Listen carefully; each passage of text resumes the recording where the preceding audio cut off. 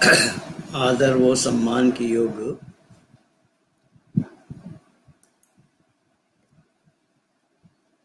धर्म प्रेमी सज्जनों तथा आर्य बंधुओं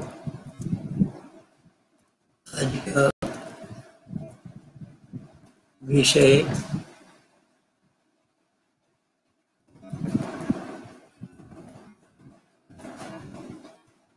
ईश्वरीय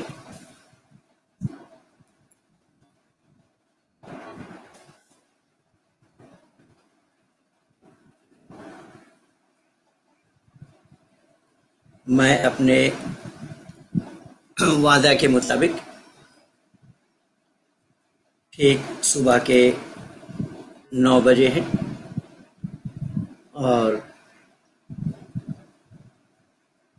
लाइव फेसबुक में मैं आप लोगों के साथ रूबरू हूँ।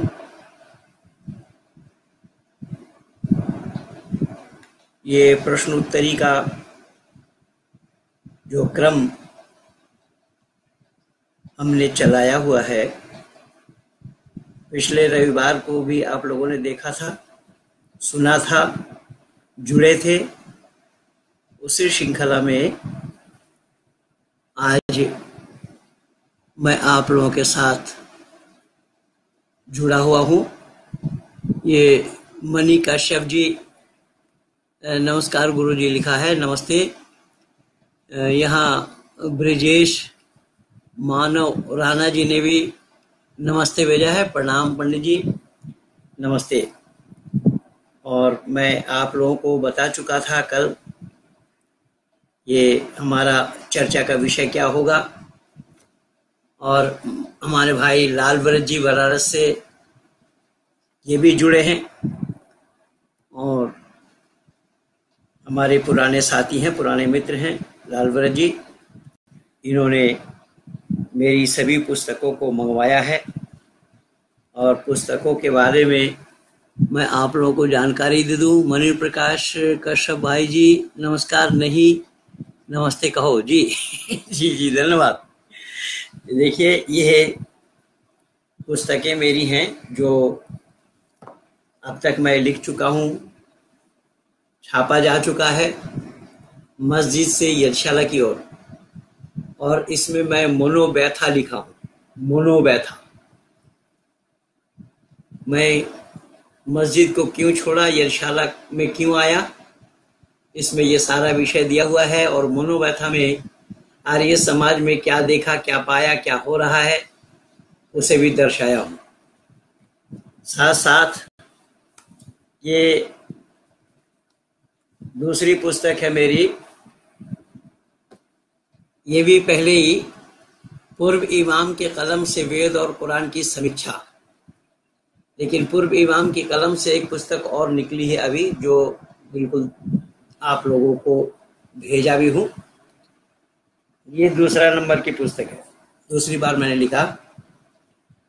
और फिर उसके बाद मैं ये लिखा, अकल पर दखल न देने वाले धर्म और मज़हब के भेद को क्या जाने? ये विशेषकर डॉक्टर असलम कासमी के जवाब में मैं लिखा। और उसके बाद ये दो पुस्तक है। ये बेचारे ने जवाब देकर फंसाया इस्लाम को। ये मुशफिक सुल्तान को जवाब में लिखा और फिर ये पूर्व इमाम के कलम से इस बिल्कुल नया विषय को आप लोगों के सामने रखा हूँ। और एक पुस्तक मेरी और आ रही है, जो ये जाकिर नाइक के पुस्तक के जवाब में लिख रहा हूँ मैं। जाकिर नाइक का ये पुस्तक है, क्या कुरान ईश्वरीय ग्रंथ है? इसका जवाब मैं लिख रहा हूँ। थोड़ा बाकी है उसमें। लगभग 400 पेज इसमें आ रहा है। इसमें मैं देखा हूँ, दिखाया हूँ।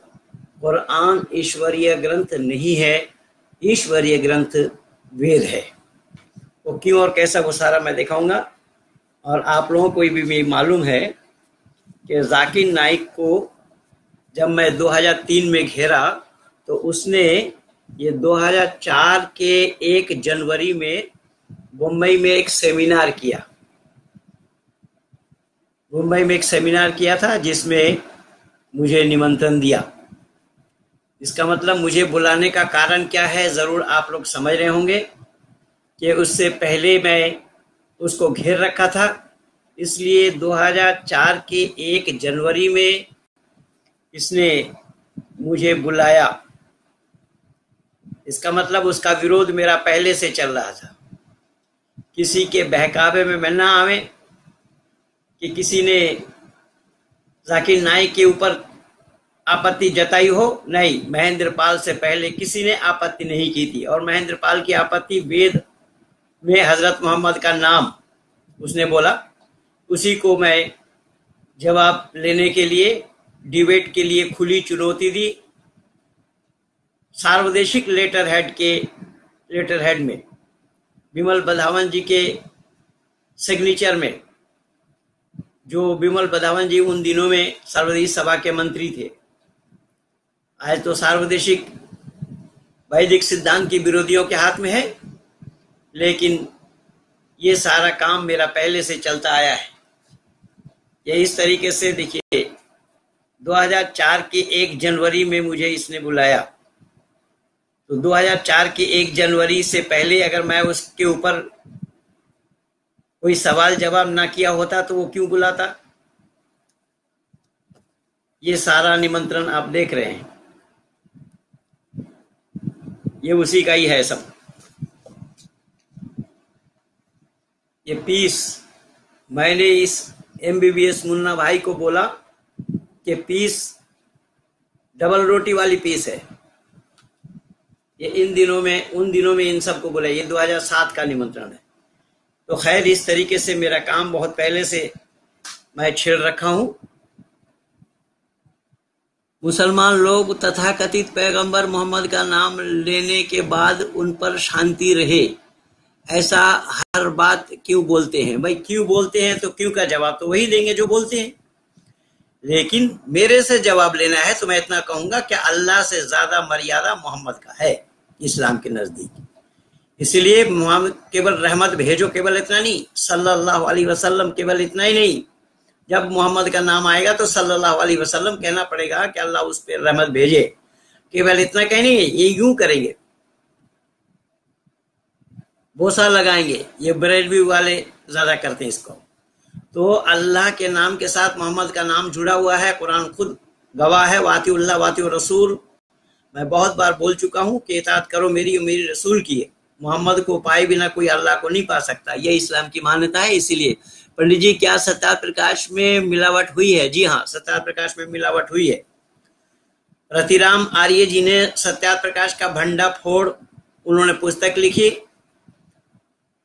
सत्या प्रकाश में मिलावट लोगों ने जानबूझ करके किया है। बहुत से लोग। भाई अशोक आर्य जी, नौलखा वाले, उदयपुर वाले ने लिखा, कब तक मौन रहे? उन्होंने तीन विद्वानों का नाम भी लिखा है। भाई, ये इतना बड़ा मत लिखिए, इसे कैसे पढ़ेगा? वो भी अंग्रेज़ी में लिखे आप।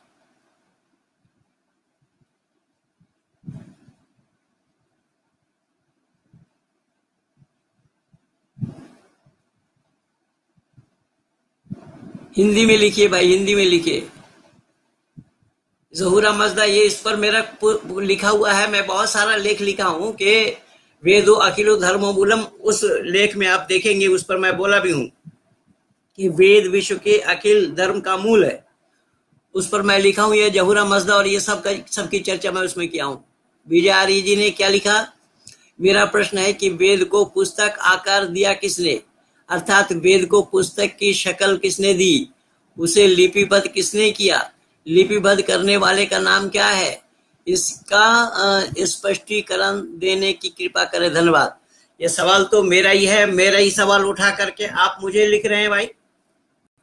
विजय आर्य जी, ये सवाल तो संपूर्ण आर्य जगत में मैं ही उठा रखा हूँ, मैं ही चला रखा हूँ। आज मेरे से मेरे ही सवाल मेरे से पूछ रहे हैं।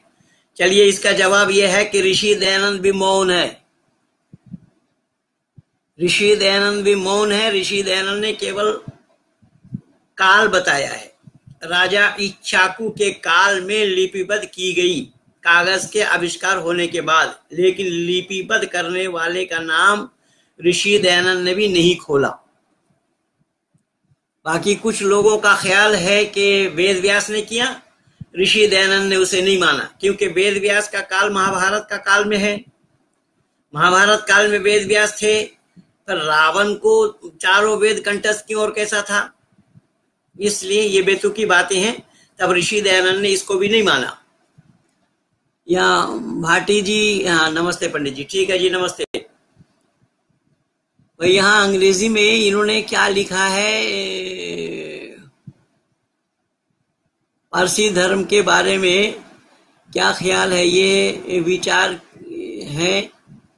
इसमें भाई, राणा जी, मैं आप लोगों को पहले बता चुका हूँ, लिख करके भी दिया हूँ, कि धर्म का आदि स्रोत जो है, वह वेद है। और उस लेख में मैं दिया हूँ, ये फारसी मत कैसे चला? पारसियों से यहूदियों ने कैसा लिया? यहूदियों से ईसाइयों ने कैसा लिया? ईसाइयों से फिर इस्लाम ने कैसा लिया? ये सारा लिंक वेद का है। वेद से ही ये चलता चला आया है। और वेद से जितनी दूरी होते चले गए हटते चले गए धर्म से भी दूर होते चले गए और सत्य से भी दूर होते चले गए। ये पूरी सृष्टि शुरुआत होता है या शुरुआत होता है यार? राजीव नयन जी शुरुआत होता है क्या शुरुआत होता है? आप ए, ए, ए, हिंदी भाषी होकर के भी नहीं जानते हैं। मैं तो हिंदी जानता नहीं हूँ। मैं बांग्ला भाषी हूँ। शुरुआत में सोई हुई थी तो क्या उस समय भी ईश्वर था? किस समय सृष्टि सोई हुई थी? सृष्टि सोई हुई नहीं थी। वेद कहता, सूर्य चंद्रमा सौधाता यथा पूर्व कल्पयत। ये पहले भी था, अब भी और आगे भी रहेगा। सोई हुई नहीं थी। पहली बात। दूसरी बात है कि ईश्वर क्या है पहले जानिए। कल मैं तो लिख करके दिया था, बोला भी व्हाट्सएप में कि लोग कहते हैं कि ये मानव ने भगवान को बनाया, ईश्वर को बनाया। ऐसा नहीं हो सकता। भगवान ऐश्वर्यशाली का नाम है ऐश्वर्य युक्त का नाम है, जो ऐश्वर्यवान है, उसको भगवान कहते हैं।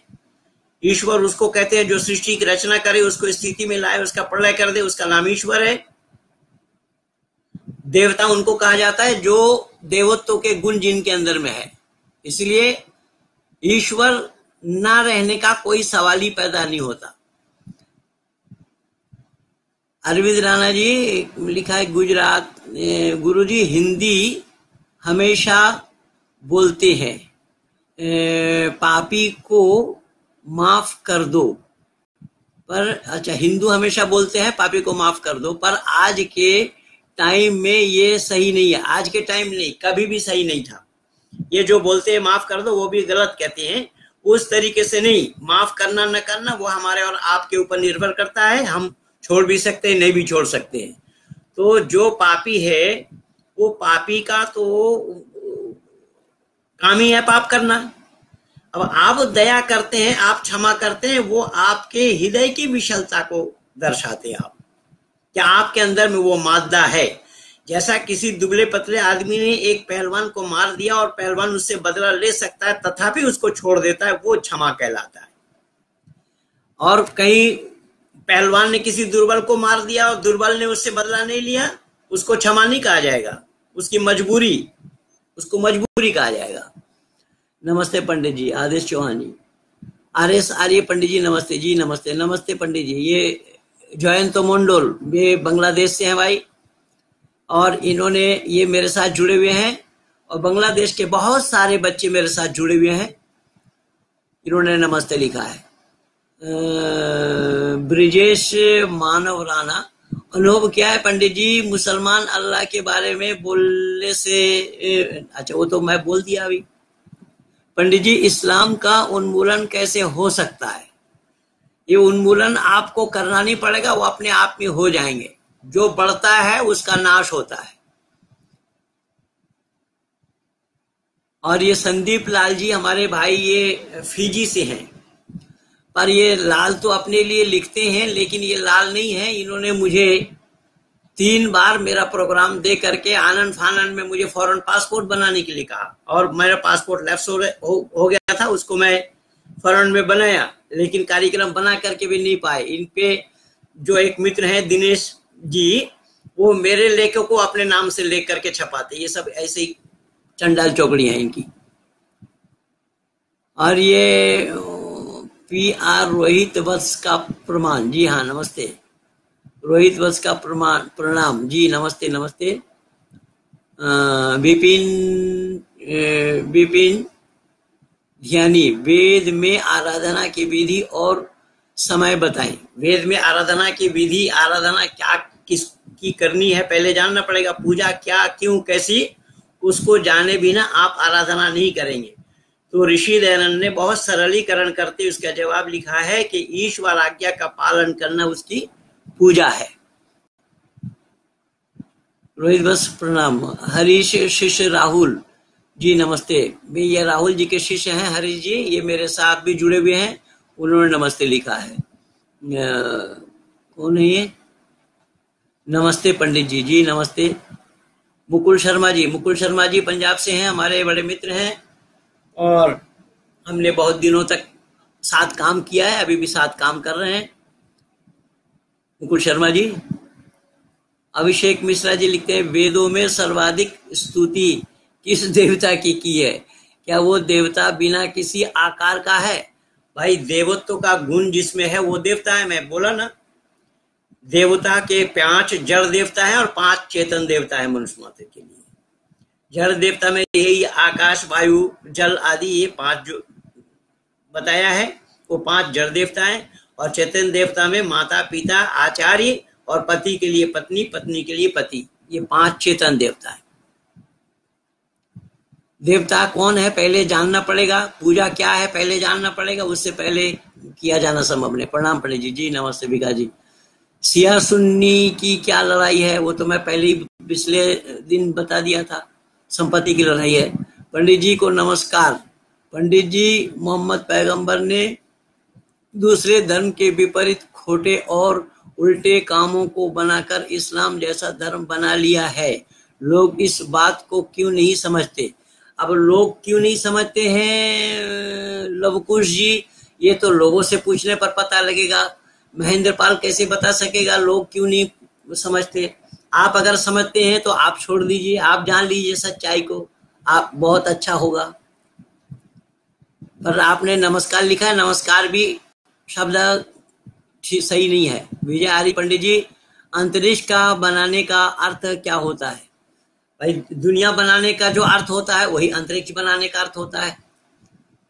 ये आर एस आर्य कपरो जी लिखा है, पंडित जी को प्रणाम। क्या इस पृथ्वी के अलावा भी कोई जीव कोई जीवन संभव है इस ब्रह्मांड में? जी हाँ। आठ बसु बताए गए हैं और बसु उन्हीं को कहा जाता है बसई सा बसु। यानी जहाँ बसते हैं, उसका नाम बसु है। ऋषि दयानंद ने सत्या प्रकाश में प्रकाश डाला है। सत्या प्रकाश, पढ़िए, मैं तो आप लोगों को बार बार निवेदन यही करता आया हूँ, करता रहा हूँ, करता रहूँगा। कि सत्या प्रकाश ही एक ऐसी धरोहर पुस्तक है जो सभी शंकाओं का समाधान आप उस पुस्तक से पा जाएँगे। पंडित जी, अंतरिक्ष का बनाने का अर्थ क्या होता है? फिर दोबारा लिखा आपने। क्या मनु पहला मनुष्य था? जी नहीं। संदीप लाल जी, मनुष्य पहला मनु नहीं था। वो प्रलय के बाद के हैं। और एक स्त्री, एक पुरुष से मनुष्य, पृथ्वी की रचना संभव नहीं है। निशांत झा जी लिखते हैं प्रणाम प्रणाम आचार्य पंडित जी, क्या हिंदू शब्द वेद में है? जी नहीं। हिंदू शब्द वेद में तो नहीं है, वेदांग, दर्शन, उपनिषद, उपवेद कहीं नहीं है, हनुमान चालीसा में ढूंढ डालिए, वहाँ पे मिलना मुश्किल है, वहाँ भी नहीं है। हिंदू शब्द कहीं नहीं आया है, वो सुदर्शन न्यूज़ चैनल में जो दिखाया गया है, वो भी गलत था, उस दिन भी मैं मौन साजिद रशीदी के साथ जो डिबेट के लिए बुलाया गया था, उसमें ज़्यादातर आप लोगों ने देखा होगा, मैं इस पर ज़्यादा समय मौन रहा, क्योंकि वो हमारे विचारों का नहीं था। क्या आदि तीन है और अंत एक आदि तीन है, अंत एक है क्या? भाई, सवाल स्पष्ट करिए। आदि नहीं, अनादि तीन है। अनादि तीन है, ईश्वर, प्रकृति और जीव।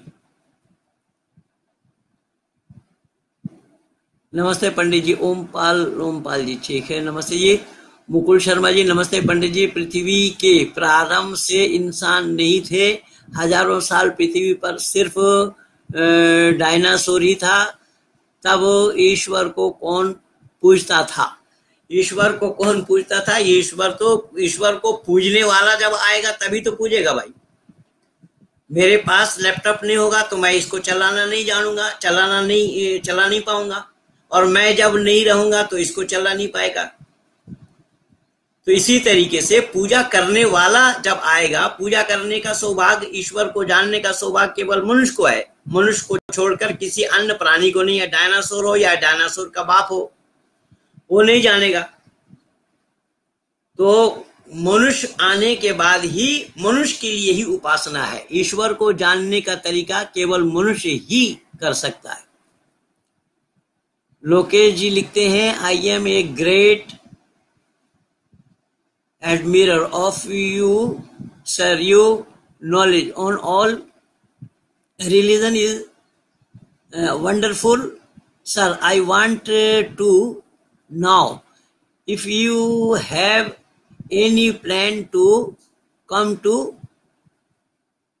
Bangalore हाँ तो बेंगलोर में आप बुलाएँगे, वहाँ प्रोग्राम रखिए, मैं आऊँगा। बेंगलोर में उस समय, जब मैंने एक को शुद्ध किया था, जो जाम अजहर से पढ़ करके आया, उसको मैंने पहाड़गंज आर्य समाज में एक ईश्वरपाद पर डिबेट किया।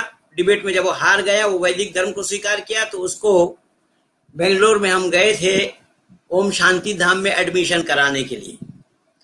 और उसके बाद वो बेंगलोर के कुछ हमारे साथी लोग हैं जो मेरे साथ जुड़े हुए हैं। तो उन लोगों से संपर्क निरंतर होता रहता है और वो मेरी पुस्तक और मेरी सीडी डीवीडी उन दिनों में चलते थे। उन सबको मंगवाया। जब जाकिर नाइक के पास हार गया रविशंकर, उसके बाद की घटना है। तो बेंगलोर में प्रोग्राम बनाइए, मैं आऊँगा। लोकेश जी लाल भर सिंह जी, वेद और कुरान में मौलिक अंतर क्या है? क्या वेद, क्या वेदा की ऋचाएँ परिस्थितियों के अनुसार रची गई, जैसी कि कुरान के साथ है? जी नहीं लाल भर जी, ऐसा नहीं है। परमात्मा का ज्ञान परिपूर्ण है, इसीलिए परमात्मा को बदल बदल करके ज्ञान देने की आवश्यकता नहीं होती। आज ही मैं एक लेख लिखा हूँ, जिसमें आप देखेंगे, फेसबुक के पेज में ही पा जाएँगे आप। उसमें कुरान में अल्लाह ने सूरा इब्राहिम आयत नंबर चार में बताया है कि वमा अरसल रसूल लहुम, कि हर एक कौम की ज़ुबान में, उसी ज़ुबान में ही मैंने पैगंबर भेजा। तो मैंने यहाँ सवाल उठाया कि मानव धरती पर जब आया तो जन्म लेते ही ज़ुबान खुलते ही उसकी ज़ुबान से स्वर निकलते हैं। आ आ, ई ई उ ये स्वर है। ये स्वर निकलते हैं और वो स्वर केवल संस्कृत में है, किसी अन्य ज़ुबान में नहीं है। तो जब स्वर मानव धरती पर आया, ज़ुबान खोला, स्वर निकला संस्कृत में इसको हम अक्षर कहते हैं तो ऐसे संस्कृत ज़ुबान में अल्लाह ने किसको पैगम, कौन सा पैगंबर भेजे? अगर संस्कृत को हम छोड़ भी देते हैं तो हिंदी में बताए, कोई इस्लाम के जानने वाला, मानने वाला, इस्लाम वालों से चुनौती है मेरी। इस्लाम वालों को चुनौती है मेरी लाल भरत जी। आपके बनारस के सारे मौलानाओं को, बनारस में भी इस्लाम का गढ़ है और काफ़ी मदरसा वाले पिछले दिन जब वो उसमें छेदगंज में लल्लापुर आर्य समाज के कार्यक्रम में मैं गया हुआ था। मैं गया तो पचासों बार, लेकिन वहाँ पर भी बहुत सारे मौलाना लोग आए थे। आपने भी देखा होगा। तो ये सवाल मेरा केवल इस्लाम जगत से है कि संस्कृत ज़ुबान में अल्लाह ने किस पैगंबर को भेजा। अगर संस्कृत को छोड़ते हैं तो हिंदी ज़ुबान में बता दे। पर हिंदुओं कान खोल करके सुन लेना कि मुसलमानों का नाम हिंदी अक्षरों में या संस्कृत अक्षरों में रखना इस्लाम में मना है। इस्लाम कितना संकीर्ण है वो देखिए। इस्लाम में कितनी संकीर्णता है वो देखिए कि हिंदी ज़ुबान में या संस्कृत ज़ुबान में तो आप नाम ही नहीं रख सकते। हैं तो फिर अल्लाह और ईश्वर का होना संभव भी नहीं है। अल्लाह और ईश्वर का होना संभव नहीं है, वो मैं अनेक प्रमाण दे रखा हूँ और अनेक प्रमाण दिया हूँ। हमारे बाबू हिमांशु जी मोहन हिमांशु मोहन जी भी जुड़ गए हैं। धन्यवाद है आपने समय निकाला है। वेद में मुक्ति का क्या मार्ग बताया है? पहले जानना पड़ेगा, मुक्ति किसको कहते हैं? मुक्ति के माने ये नहीं है कि आप जन्म नहीं लेंगे। नहीं। उसमें मैं बोल भी रखा हूँ, फिर भी बता देता हूँ। मुक्ति के माने वो है, उतना एक पीरियड होता है, कुछ समय के लिए। परमात्मा के आनंद से उस आनंद को प्राप्त करने का नाम मुक्ति है। लेकिन उस आनंद को प्राप्त करने के बाद फिर जीवात्मा को जीवात्मा रहना है।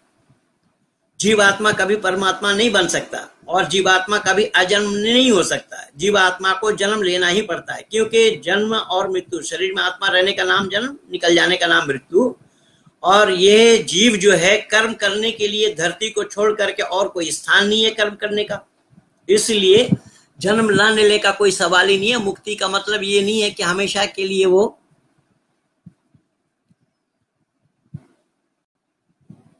मृत्यु बंधन, जीवन मृत्यु के बंधन से छूट जाए नहीं। ऋषि दयानंद ने हवाला दिया है कि लोहा को अग्नि के अंदर में डालने से ये लोहा अग्नि सम हो जाएगा, लेकिन लोहा को निकालने पर लोहा को लोहा रहना है। ठीक इसी तरीके से परमात्मा से आनंद को जिस समय तक जितना देर तक ले रहे हैं, उसका नाम ही मुक्ति है। प्राण और आत्मा दोनों एक है या अलग अलग नहीं, प्राण और आत्मा दोनों एक ही है। हम प्राण भी कहते हैं, आत्मा भी कहते हैं। पंडित जी, नमस्ते। साम्यवादी कहते हैं कि हिंदू शब्द सिंधु का बिगड़ा रूप है। साम्यवादी की ये हिंदू भी कहते भी सबर कर सिंधु का बिगड़ा हुआ रूप है तो सिंधु को हिंदू क्यों नहीं बोला भाई? सिंधु नदी को हिंदू नदी क्यों नहीं कहा? सिंध प्रांत को हिंद प्रांत क्यों नहीं बोला? ये बोलते हैं, प्रमाण दे रहे हैं कि सा नहीं है। फारसी में, इसलिए शाह को वहा कहते हैं, जैसे सप्ताह को हफ़्ता बोलने से उन्होंने सोचा वहाँ सा नहीं है। अगर सा नहीं हो तो फिर मुसलमान कैसे होगा? मुसलमान क्यों नहीं हुआ? फार फारसीफ कैसे होगा? फार ही होना चाहिए था। शेख शादी कैसे होगा? हेक हादी होना चाहिए था। जब आप सप्ताह को हफ़्ता बोलने के कारण सोचे वहाँ आसानी है तो वो बारह महीना को साल कैसे बोलते हैं? हाल होना चाहिए था। ये मूर्खता की बात है। और ये हिंदू इस काम को कर रहा है। हिंदू जानता ही नहीं है सच को। सच से हिंदू काफ़ी दूर है, कोसों दूर है। अरिंदम चौहान। जी, विजय पंडित जी, जीवात्मा शरीर के कौन से हिस्से में रहता है? गुयाम शब्द आया है, ये बाया साइड के, यहाँ पर हृदय की स्थापना, हृदय का वास यहाँ होता है। बाएँ साइड में। आर्य आचार्य जी, नमस्ते, क्या हम इस बात को झूठा प्रमाणित कर सकते हैं, जो किसी मध्य एशिया के लेखक द्वारा प्रमाणित किया जा रहा है? क्या बोला जा रहा है? कि हम आर्य बाहर से आए और प्रथम वेद हमने ईश, ईसा से लगभग एक हज़ार वर्ष पाया और नहीं, ये बिल्कुल गलत है। इस पर मेरा बहुत सारा काम किया हुआ है। भाई, बाहर से बाहर वाले बोलेंगे आर्य लोग बाहर से आए, वो तो बात की बात है। ये अंदर वाले भी तो बोला, जवाहरलाल नेहरू ने क्या बोला?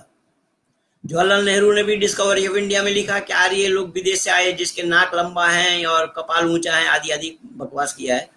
जवाहरलाल नेहरू को कुछ भी अता पता नहीं है। दिल्ली यूनिवर्सिटी के तीन प्रोफेसरों ने यह सिद्ध कर दिया है कि आर्य इस देश के मूल निवासी है। इस देश का नाम इसलिए आर्यवर्त है। मर्यादा पुरुषोत्तम राम को आर्य पुत्र क्यों कहा गया?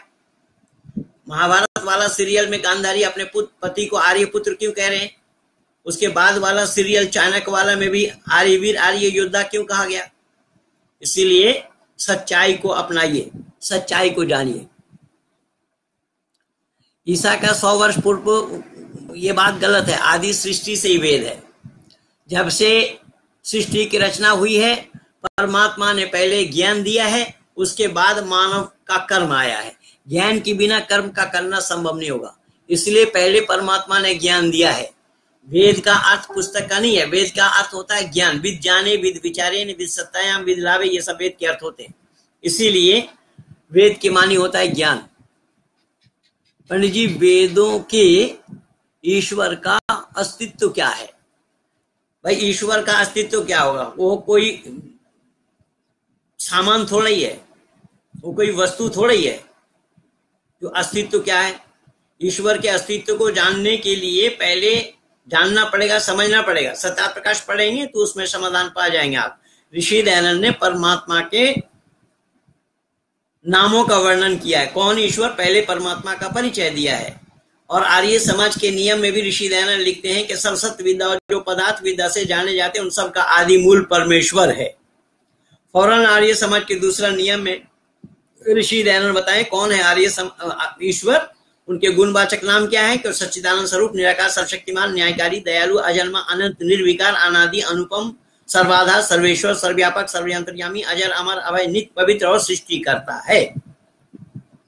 ये दिया है परमात्मा का नाम। यहाँ अमित अमित चौधरी जी लिखते हैं, पंडित जी, वेदों में ईश्वर का अस्तित्व क्या? भाई दो दो बार लिख दिया आपने। पंडित जी, वेदों में ईश्वर का अस्तित्व का अच्छा। संतोष राठौर जी, पंडित जी, नमस्ते नमस्ते जी। मैं आपसे मिलना चाहता हूँ। आप कहाँ मिल सकते हैं मेरे को बताएँ। वैदिक धर्म को जानना है जानना चाहता हूँ। भाई, वैदिक धर्म को जानना चाहता हूँ तो मिलना ज़रूरी क्यों है भाई? क्यों मिलना चाहते हैं वैदिक धर्म को जानना चाहते हैं तो सत्या प्रकाश लीजिए। संतोष जी, कहाँ राठौर जी, आप मध्य प्रदेश के लग रहे हैं?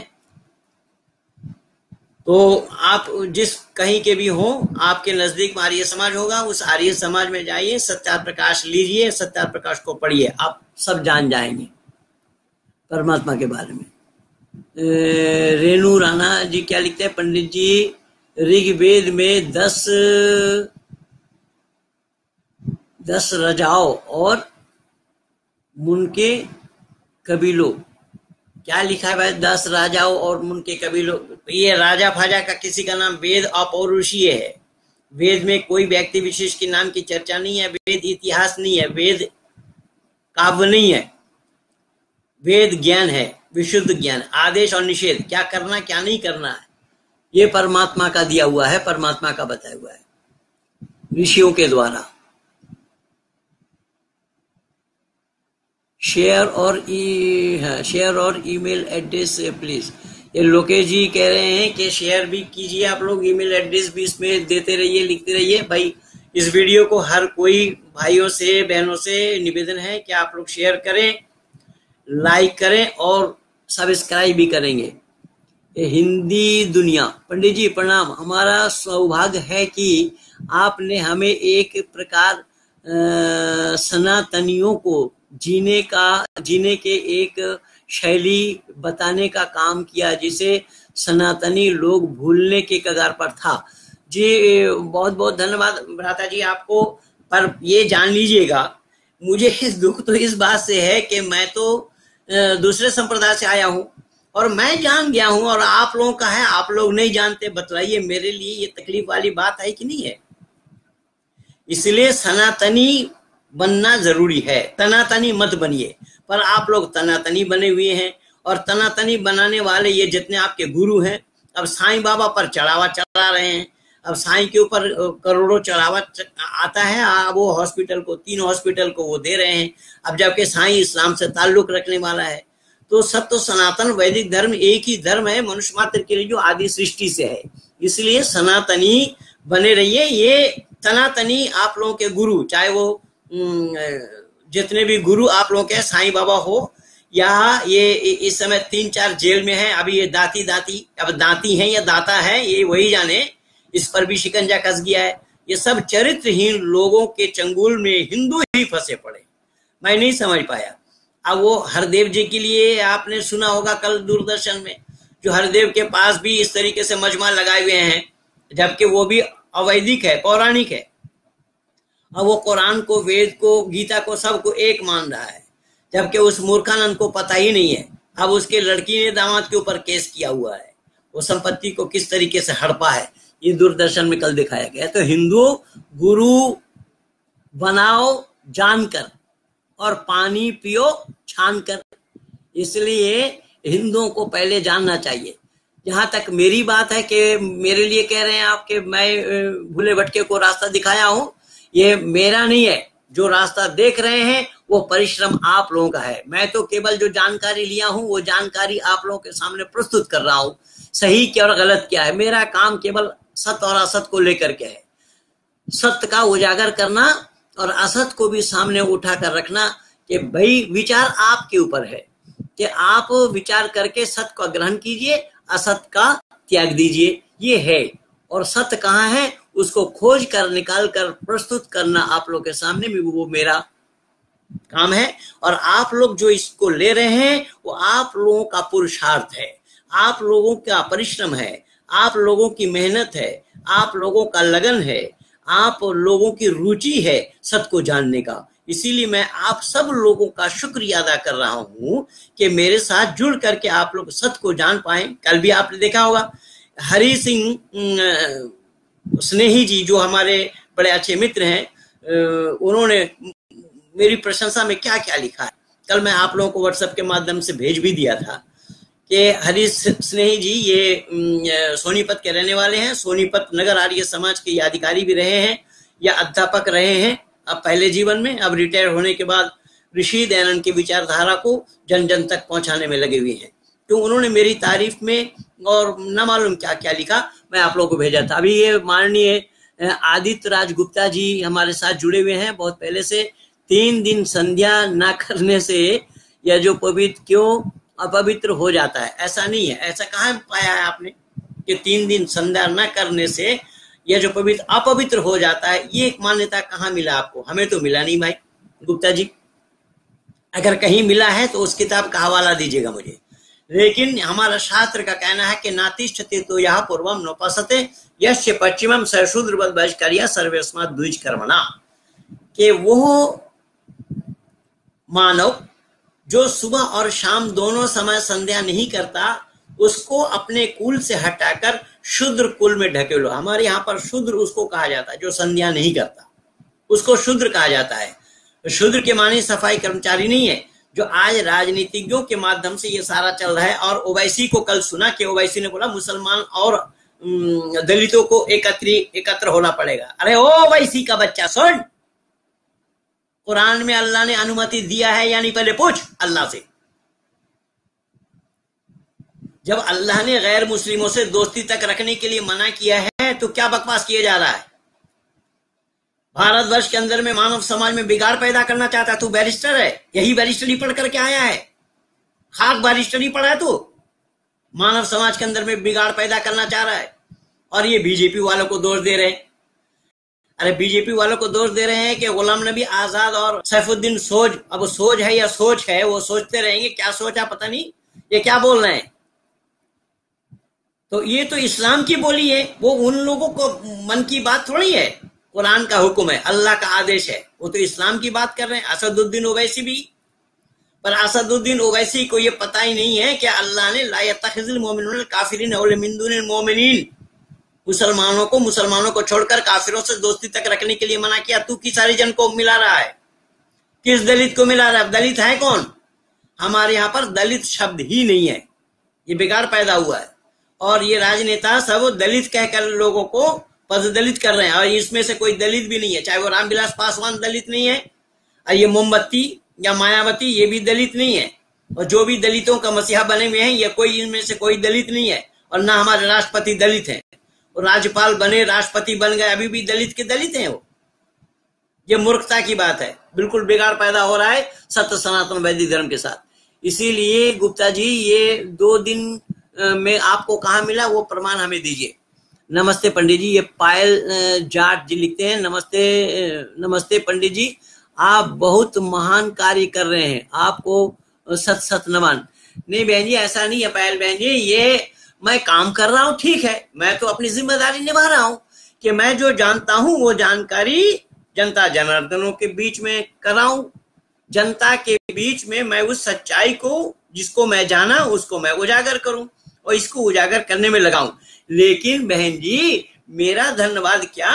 ये धन्यवाद तो आप लोगों का है कि आप लोग समय निकाल कर मेरे बातों को सुन रहे हैं या मेरी बातों को सुन रहे हैं, मेरे साथ जुड़ रहे हैं, इसलिए तो मैं आप लोगों का शुक्रगुजार हूँ। आप लोगों का धन्यवादी हूँ कि आप लोग समय निकाल कर सत्य को सुनना चाहते हैं, क्योंकि लोगों ने तो सत्य को तिलांजलि दिया है सत्य को सुनना ही नहीं है। और असत के पक्षधर बन गए जैसा एक उदाहरण मैं दे रहा हूँ कि अर्जुन ने अपनी ज़िंदगी में कभी झूठ नहीं बोला। उस अर्जुन को हमने वीर कहा और जिन्होंने घर के संपत्ति को जुआ के बाजी में हारा, घर के कुल बधु को भी जुआ के बाजी में लगा दिया, उन्हें हमने धर्मराज कह रखा है। और वेद में आदि सृष्टि में आया, जुआ खेलना पाप है। राजा अशपति भी चिल्ला चिल्ला कर कह रहे हैं, हमारे देश में जुआड़ी, शराबी, व्यभिचारी चोर तक नहीं है। जिस देश में जुआड़ी, शराबी, व्यभिचारी चोर तक नहीं है, उस देश में जुआड़ी को धर्मराज कहना कहाँ तक सही है? इसलिए पाठ गलत पढ़ाया गया। आप लोग समय निकाल कर मेरी बातों को सुन रहे हैं। मैं आप सब लोगों का धन्यवादी हूँ, शुक्रगुजार हूँ। पंडित जी, नमस्ते। ये सत्येंद्र मिश्रा जी ने नमस्ते भेजा है। नमस्ते साहब। ये मनोज कुमार आर राजपूत। नमस्ते नमस्ते जी। ये क्या, कौन लिखा है, क्या? पंडित जी, मेरा आपसे प्रार्थना है कि आप हफ़्ते में कम से कम एक बार जनता से सीधा जुड़े और सनातन को जनता में समझाएँ। हाँ मैं तो ये, मेरा समय निकलता है तो मैं ये करता हूँ, लेकिन असल में मैं भी गृहस्थी हूँ भाई। रोजी रोटी का साधन मेरा ये प्रचार कार्य इसके सिवा और कोई नहीं है। तो प्रचार कार्य में लोग मुझे बुलाते हैं, आर्य समाजी ही बुलाते हैं। बाकी और तो कोई देने के लिए इस तरीके का मन नहीं बनाया है। और अगर आप लोग जान रहे हैं कि ये काम ठीक है, सही है तो इसको करने के लिए इसका साधन जुटा देना चाहिए। आज तो पैंतीस साल हो गया है। मैं बोल रहा हूँ कि कोई एक स्टूडियो की व्यवस्था करे। साल भर गाजियाबाद के कुछ सज्जन ने बुला लिया और ये करेंगे, वो करेंगे, ये कमरा में करेंगे, वो कमरा में करेंगे। सारा दिखाया, साल भर मेरा समय खराब किया और ना वहाँ पानी की व्यवस्था। हमारे एक मित्र शर्मा जी, प्रेमपाल शर्मा, वो मुझे अपने घर से, जब पंद्रह बीस किलोमीटर दूर है, उनका घर वहाँ जहाँ मैं रुका था, वहाँ से पानी ढो करके लाते रहे, भोजन ढो करके लाते रहे, ये सारा काम हुआ। तो हिंदू केवल बात बनाता है, करता नहीं। इसलिए मैं कई बार कहा हूँ कि हिंदू का बाप पैसा है। हिंदू ज़रूरत पड़ने पर शेर के मुँह में हाथ डाल देते, पर जेब में नहीं डाल दे अगर जेब में डाल करके ये काम मेरे को करने के लिए मुहैया कराते होते तो आज 35 वर्ष में मैं सब तो सनातन वैदिक धर्म का संपूर्ण विश्व के आँगन में उजागर कर सकता था।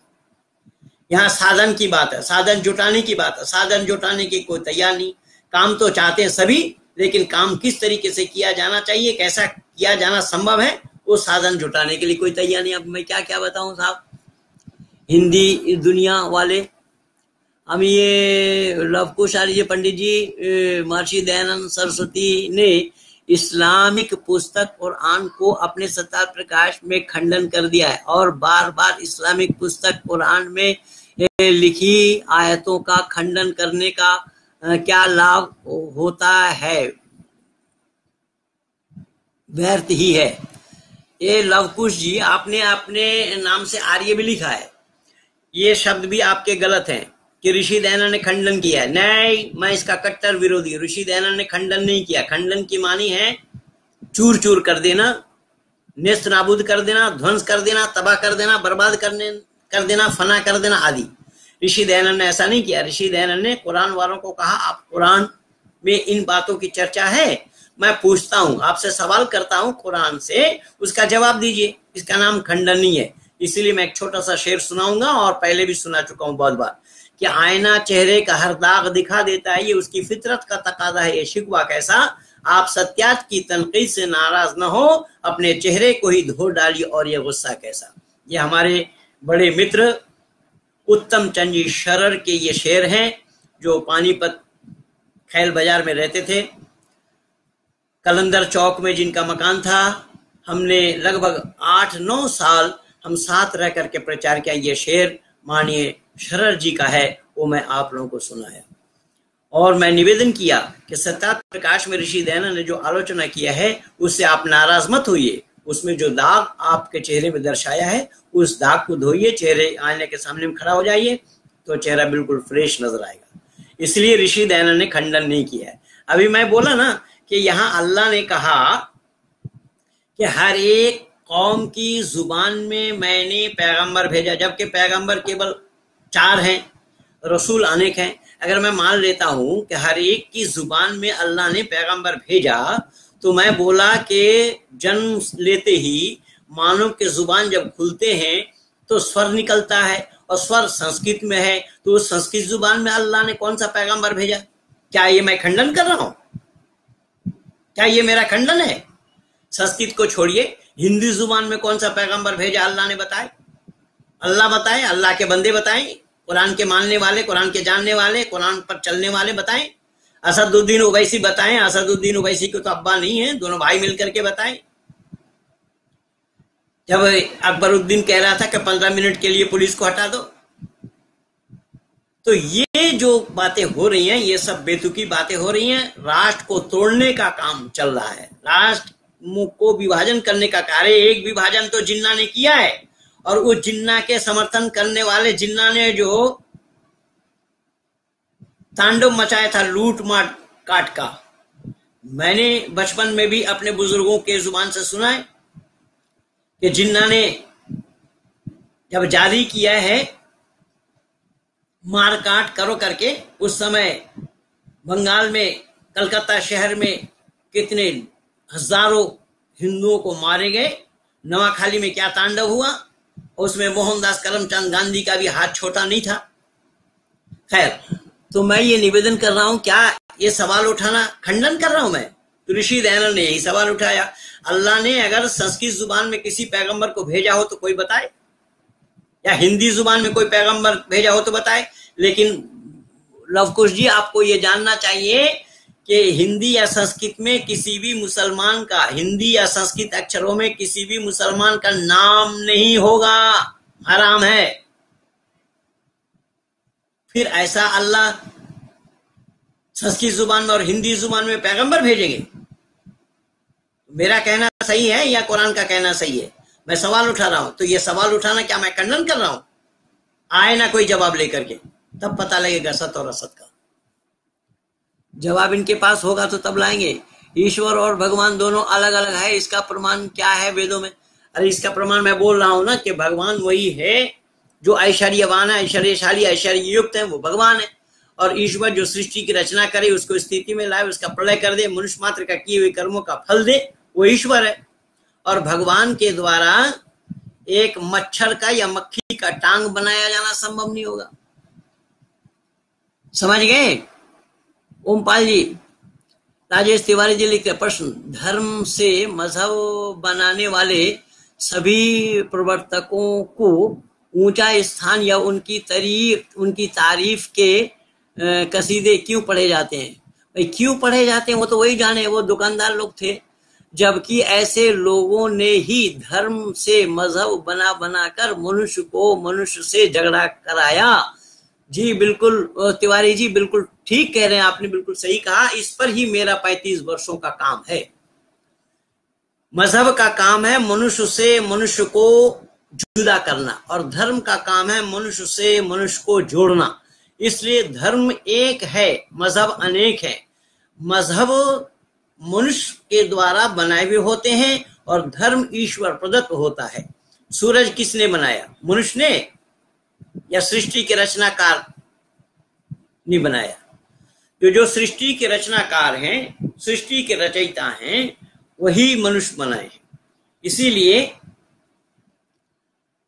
ये धार्मिक दुकानदार लोगों ने मानव समाज के सम, मानव समाज में अपनी दुकान चलाने के लिए झगड़ा किया चाहे बौद्धिज्म हो जैनिज्म हो सिखिज्म हो या ये ईसाइत हो या इस्लाम हो ये जितने भी इज्म हैं ये सब मानव समाज को टुकड़ों में बांटा है। परमात्मा के पास मानव मात्र का मानव मात्र के लिए उपदेश है। यथे मम वाचम कल्याणी माँ बदानी जनभ्या पर कुरान का उपदेश, या लजीना आमनु है ईमान लाने वालों, औरों के लिए नहीं है। इसीलिए इन सब धार्मिक दुकानदारों ने मानव को बांटा है। पंडित जी, सुना है कुरान में आदम बाबा भगवान शिव के ज़िक्र है। इसके बारे में मैं जानने का इच्छुक हूँ। भाई, ऐसा है, ये वेद में मैं बोला ना, किसी व्यक्ति विशेष के नाम की चर्चा नहीं है। अब कुरान में है या नहीं है? कुरान में भी शिव की बात नहीं है। वो भी गलत आपने सुना है। कुरान में आदम को शिव कहा गया, ऐसा नहीं है। ये पिछले दिन मुफ्ती इलियास नाम का जो उतरोला का रहने वाला, वो मेरे पास, मेरे साथ कई बार मिल चुका है। उतरोला आर्य समाज में मिला है। उसके ऊपर मैं उतरोला आर्य समाज में प्रवचन भी दिया आया था। उसने बोला कि मेरे माता और पिता शिव और पार्वती है। वो आदम और हवा के लिए बोला। शिव और पार्वती है तो मैं मेरा पहला सवाल इस्लाम जगत से है कि शिव शब्द इस्लाम में जायज़ है या हराम है? पहले एक बताए। मैं पूछना चाहता हूँ इस्लाम जगत के सभी आलिमों से, मुफ्ती हो या मुफ्ती का बाप हो, कोई भी बताए कि हाँ शिव शब्द इस्लाम में जायज़ है या हराम है? तो पर शिव और पार्वती को माता पिता क्यों और कैसे माना जाएगा? ये मैं जवाब दे रखा हूँ यूट्यूब में उसका वीडियो मेरा लगा हुआ है। विजय जी क्या लिख रहे हैं? फिर पंडित जी, ऋषि किसे कहा गया, कहा जाता है? और ऋषि बनने के लिए क्या करना पड़ता है? ऋषि उनको कहा जाए, ऋषि वही मंत्र दृष्टा। जो मंत्रों के साक्षात्कार करते हैं, मंत्रों के दृष्टा होते हैं, उनको ऋषि कहा जाता है। इसीलिए मंत्रों के साक्षात्कार करने वालों को ऋषि कहा जाता है, विजय जी। ऋषि बनने के लिए क्या करना पड़ता है? ऋषि बनने के लिए उनके तप, उनकी साधना, उनकी भक्ति, उनकी मन की शुद्धता आदि आदि, ये सब ऋषि वही होते हैं जिनके अंदर में, जिनके मन में किसी प्रकार का कोई दोष ना हो, वो ऋषि कहलाते हैं। समझ गया विजय बाबू?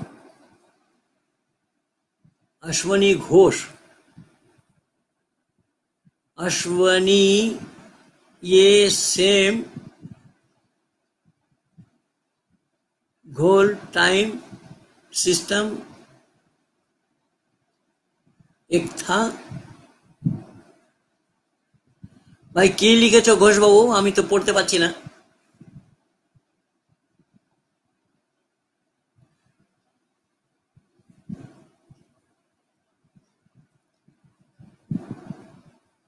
नमस्कार पंडित जी, नमस्कार। जग्गू दादा। ठीक है भाई, नमस्ते। ये गौरव वर्मा लिख रहे हैं, वेद सही और कम कीमत पर कहा मिलेंगे? भाई, आप जब सही लेना चाहते तो कम कीमत पर क्यों लेना चाहेंगे? सस्ता सौदा होता क्या है, आप जानते हैं? वेद मिलेंगे लगभग पाँच हज़ार में। और आपको मिलेंगे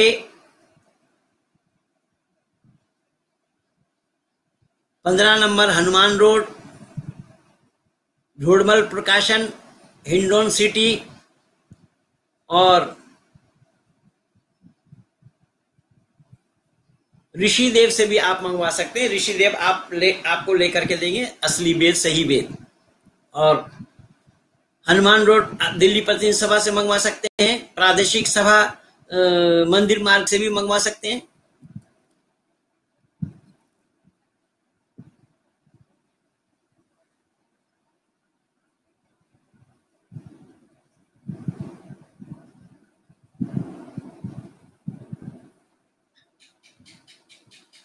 ये हमारे भाई तहजीब अहमद एक हैं। इन्होंने लिखा है कि आदम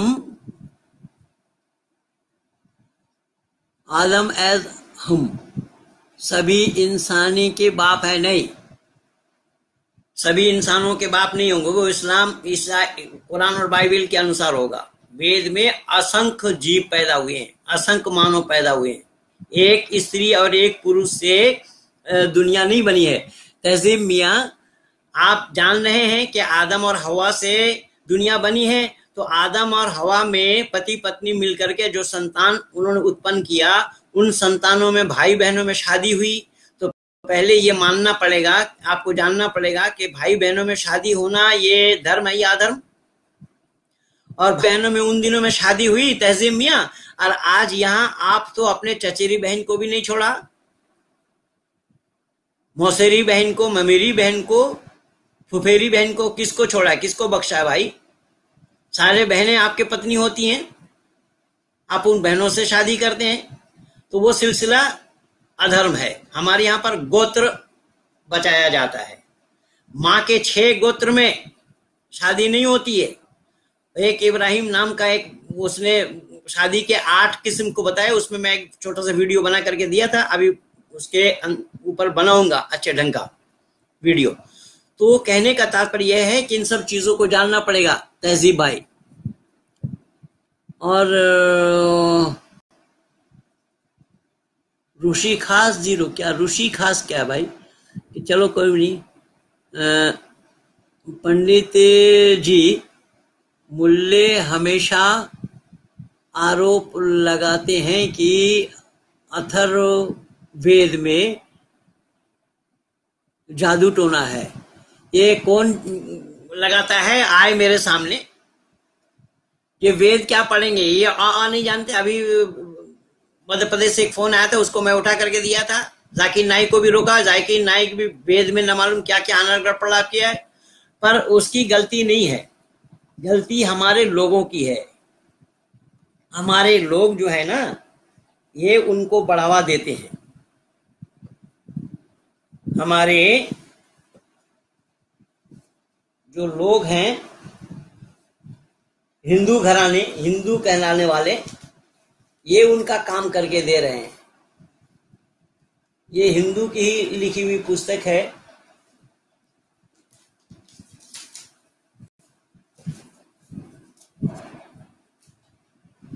हिंदुओं ने ही लिखा है, वेद और पुराण में हज़रत मोहम्मद। तो ये वेद में कहीं नहीं है वेद में किस्सा कहानी की कोई गुंजाइश नहीं है। ये चौहान साहब कह लिखे पंडित जी आप सब धर्मों के ज्ञाता हैं। कृपया आप अपने आप अपने जैसे ज्ञानी और लोगों को भी बनाने का काम करें अप, अपने सानिध्य में। हाँ जी जी मैं एक दो नहीं मैं हज़ारों की तादाद में बनाया हूँ। जो मेरी बातों को जानने का, समझने का प्रयास करते हैं, वो मेरे साथ जो जुड़े हुए हैं, वो लोग इन सच्चाई को उजागर कर रहे हैं। मैं हज़ारों की तादाद में, मैं यहाँ क्या अरब कंट्री में भी बना रखा हूँ। आर्य समाज में कम लोग आते हैं। आर्य समाज में कम लोग आते हैं तो मैं क्या करूँ? उन आर्य समाजियों से पूछिए। मैं समाजी नहीं हूँ, मैं आर्य हूँ। आर्य समाज में कम लोग क्यों नहीं आएँगे? जब वो आर्य समाज में जाएँगे तो वहाँ देखेंगे झगड़ा। और ऊपर से लेकर के नीचे तक सार्वजनिक सभा से लेकर के साधारण यूनिट तक सब जगह झगड़ा ही झगड़ा है। झगड़ा से खाली नहीं तो कौन जाएगा वहाँ? इसलिए मैंने अपनी सदस्यता भी निरस्त करवा दी। मैं आ रही हूँ, समाजी नहीं हूँ। मैं क्या क्या बताऊँ? ये सब दुकानदारी, दुकानदार लोग भी दुकानदारी चला रहे हैं। इसीलिए आर्य समाज अच्छा है, समाजी अच्छे नहीं है। पर इतना ज़रूर जानिएगा आर्य वीर जी कि सोने की दुकान में कम भीड़ होती है और शराब की दुकान में लाइन लगा करके लोग लेते हैं। पंडित जी महर्षि दयानंद अपने ऋग्वेद भाष भूमिका में ईश्वर को खोजने का स्थान बताया है और उसमें उदर और गर्त वो बेशाम आकार का ज़िक्र किया है। ये गर्त, वो बेशाम क्या है? वो गुहियाम शब्द आया, मैं बोला ना, पहले तो बोल दिया। जब आप ऋग्वेद आदि भाष भूमिका पढ़ रहे हैं तो उसमें अच्छे ढंग से पढ़ करके समझ लीजिए। और उसमें पूछने का क्या काम था? रेणु नैना पंडित जी, ये हुसैनी ब्राह्मीण कौन है? सुना है ये इमाम हुसैन की भी पूजा इस, इसे है? अरे हिंदू तो जो चाहेगा सो करेगा। हिंदू तो एक ईंट सड़क पर रख दीजिए, वो सड़क बाबा बना देंगे। बंगाल में बालीगंज स्टेशन, सियालदह से आगे जब जाएँगे, बालीगंज स्टेशन से पहले बुंदेल एक जगह है। बुंदेल गेट वहाँ पर भी रेल लाइन के नज़दीक एक बना हुआ है, उसका नाम रखा बाबा रेलेश्वर अब हिंदू तो जिसको मानेगा वो बना लेगा, अब हुसैन का माने चाहे हसन का माने। ये जहाँ बोलेंगे हिंदू वही है। और ये हिंदुओं की कमबख्ती के कारण ही ये देश में आज यही उथल पुथल मची हुई है। हिंदू अगर समझदार होते, हिंदू अगर सही अर्थों में सच्चाई को जानते होते तो मुसलमानों का वर्चस्व हिंदू, हिंदुस्तान में नहीं होना चाहिए था। और हिंदुस्तान को शरण दिया और वही मुसलमान हिंदुओं को आग दिखा रहे हैं। यही तो हो रहा है। ये हिंदुओं की कमी, हिंदुओं की गलती, हिंदुओं की खामियाँ, बीरबल अगर उन दिनों में अकबर बादशाह को बना लेता तो ना पाकिस्तान का जन्म होता, ना पाकिस्तानी आतंकवादी जन्म लेते। काला पहाड़ का किस्सा ज़रूर सुना होगा। पंडित काली चरण को काला पहाड़ बनना पड़ा। ये सब इतिहास है।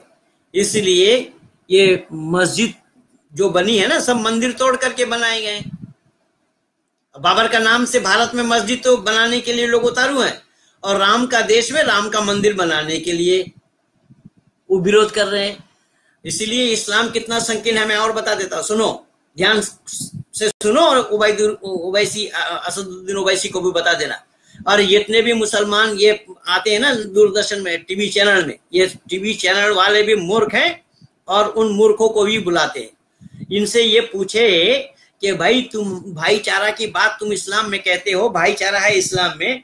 तुम्हारा ये क्या भाईचारा है इस्लाम में? जरा ये तो बताओ कि तुम हमारे यहाँ पर सड़क छेक करके, सड़क घेर करके नमाज़ पढ़ते हो, पर मक्का और मदीना में हमें जाने क्यों नहीं देते? एक सवाल का जवाब दे असदुद्दीन ओवैसी और ये फहीम बेग और ये जितने भी मौलाना रिजा और ये वो दुनिया भर का जितने भी आते हैं, ये सब के सब हरामजादे हैं। सब के सब झूठ बोल रहे हैं। ये भाईचारा बता रहे, इस्लाम में भाईचारा है, तुम हमारा सड़क रोक करके तुम नमाज़ पढ़ रहे हो, और तुम मक्का और मदीना में हिंदुओं को क्यों जाना नहीं देते? इससे बड़ा प्रमाण और क्या है? और क्या हो सकता है? और हिंदू भी इस बात को समझने के लिए तैयार नहीं हो रहा है। क्यों? ये हिंदू बिना पेंदी का लोटा है। गंगा गए गंगादास, जमुना गए जमुना दास ओम नमस्ते तुलसी जी, नमस्ते। पंडित जी, अवतार बाद जाने कृष्ण भगवान, राम भगवान, ये क्या है? कृष्ण भगवान, राम भगवान, ये महापुरुष थे, मर्यादा पुरुषोत्तम। इनको ईश्वर, भगवान तो कह सकते, ईश्वर नहीं। ईश्वर में और भगवान में अंतर में बता दिया। मर्यादा पुरुषोत्तम, राम को ईश्वर मानना हिंदुओं की बहुत बड़ी गलती है, ना समझी है, मूर्खता भी है। क्योंकि राम एक ऐसा शब्द है जिसके रूप चलेंगे। एक राम, दो राम, अनेक राम। वो पंचमी में कुछ बनेगा, षष्ठी में कुछ बनेगा, सप्तमी में कुछ बनेगा, अष्टमी में कुछ बनेगा, इस तरीके से वो बदलते जाएँगे। तो राम में बदलाव है, लेकिन ईश्वर में बदलाव नहीं है। इसलिए ईश्वर का मुख्य नाम ओम है। ये हिंदू जानता नहीं है। और ये तो कृष्ण को ही ईश्वर माने बैठे हैं। ये वैष्णवी लोग, अब बांग्लादेश वालों से मेरा ये चल रहा है कई दिन से, वो ईश्वर को उसने बोला कि समुन्द्र में बड़े मछली है। और समुन्दर में बड़ा मछली है तो बड़ा मछली जाने। तो मैंने कहा कि भाई समुन्दर को कोई एक तालाब को समुन्दर कहे तो क्या हम उसको ता, तालाब को समुन्दर कहने में सहमत हो जाएँगे या उसको रोकेंगे? भैया तुझे गए ज्ञान नहीं है। तालाब क्या समुन्दर क्या होता है? बड़ा मछली मछली के बारे में हम जानेंगे। मछली क्या है? किसको मछली कहा जाता है? घड़ियाल को कोई मछली कहे? कुमीर को मछली कहे? है? तो उसको क्या हम सही मानेंगे? उसको रोका जाएगा। ठीक यहाँ पर भी यही हो रहा है। ईश्वर को जानने के बाद ही उसको ईश्वर कहना पड़ेगा। कृष्ण को ईश्वर कहना सरासर ईश्वर के साथ धोखा है। हिंदुओं कान खोल करके सुनो। और तुम हिंदुओं के बदतमीजी के कारण ही ये सारा काम हुआ है जो योगेश्वर कृष्ण को तुमने महिलाओं का कपड़ा लेकर पेड़ पर चढ़ाया। इससे बड़ी बदतमीजी और क्या होगी? और ये गीता प्रेस वालों ने अग्नि में घी डालने का काम किया है। इसलिए सुन लो कान खोलकर। जो जन्म लेते हैं, वो कभी भी ईश्वर नहीं हो सकते। और जन्म लेने वाले का आप देखोगे, मैं पहले भी बोला हूँ नावी है या नहीं देखो? अगर नावी है राम और कृष्ण के तो वो माँ के उधर से जन्म लिए। माँ के उधर से जो जन्म लेगा वह ईश्वर नहीं हो सकता। हिंदू इस सच्चाई को जानता नहीं है। जय श्री राम अरे, जय श्री राम क्या है? जय श्री राम जय श्री राम हमारा अभिवादन नहीं है। राम को ईश्वर मानना खतरा से खाली नहीं है। ईश्वर के साथ मज़ाक है। ईश्वर का मखौल है। इसलिए इनके, क्या है? भाई राणा जी ने क्या लिखा है? ला मोहम्मद रसूलुल्लाह। पंडित जी, इसकी समीक्षा समीक्षा करें। भाई ला इला मोहम्मद रसूलुल्लाह की समीक्षा क्या करेंगे? ला इलाहा इल्ला अल्लाह नहीं है कोई अल्लाह के सिवा। मोहम्मद रसुल्ला मोहम्मद अल्लाह का रसूल है। पर ये लाई लाई ला मोहम्मद रसुल्ला कहने वालों से मैं पूछता हूँ कि अल्लाह से रसूल को हटाया जाना संभव होगा क्या? एक ईश्वरवाद है क्या इस्लाम में? एक ईश्वरवाद नहीं है। हिमांशु जी क्या लिखते हैं? आप कौन सी, आप कौन सी पुस्तक पढ़कर इमाम से यार ये बने? इस समय मुस्लिम और हिंदुओं को कौन सी पुस्तक अवश्य पढ़नी चाहिए? जी हिमांशु जी बहुत बहुत धन्यवाद आपको। मैं सत्यात प्रकाश पढ़ करके सत्य सनातन वैदिक धर्म को स्वीकार किया हूँ। इसीलिए ये पुस्तक मैं पहले भी दिखाया था। हिमांशु जी, आप देख लीजिए। मैं तो छाप करके देखने, ये चौथा एडिशन इसका जाना है। लेकिन छापने के लिए मेरे पास कोई साधन नहीं है। पिछले दिन एक पुस्तक मैंने छापी थी, बेचारे ने जवाब देकर फंसाया इस्लाम को। ऋषि देव जी से कुछ कर्जा लेकर, वो भी भाई राज आर्य जी ने कर्जा लेकर, तब मुझे बताया कि पंडित जी, मैं उनसे कर्जा लेकर के ये पुस्तक पर डाल दिया हूँ। तो मस्जिद से यशशाला की ओर, मस्जिद से यशशाला में क्यों आना पड़ा? इस पुस्तक में मैं दर्शाया हूँ, इसका चौथा एडिशन जाना है। ये पूर्व इमाम के कलम से वेद और कुरान की समीक्षा। ईश्वर और अल्लाह दोनों एक है या नहीं, इसकी मैं समीक्षा लिखा हूँ। अल्लाह का निन्यानवे नाम है और ईश्वर के सौ नामों का वर्णन इसमें मैं किया हूँ। और दोनों नामों में आसमान, ज़मीन का अंतर है। इन सब पुस्तकों में पा जाएँगे। इसका भी तीसरा एडिशन जाना है। ये असलम कासमी ने मुझे मेरे ऊपर पुस्तक लिख दी थी कि महेंद्र पाल आर्य, ये इमाम कहाँ कैसे हो सकते हैं? और इन्होंने कुरान पर सवाल उठाया है।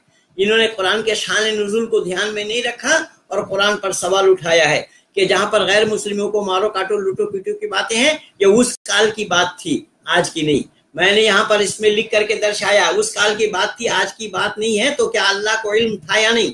अल्लाह जानते थे कि नहीं कि दयानंद के काल में, दयानंद के युग में इसका इसकी आयत की ज़रूरत नहीं रहेगी? या महेंद्र पाल आकर के इस गलती को दर्शा देंगे? या ऋषि दयानंद इन गलती को पकड़ लेंगे?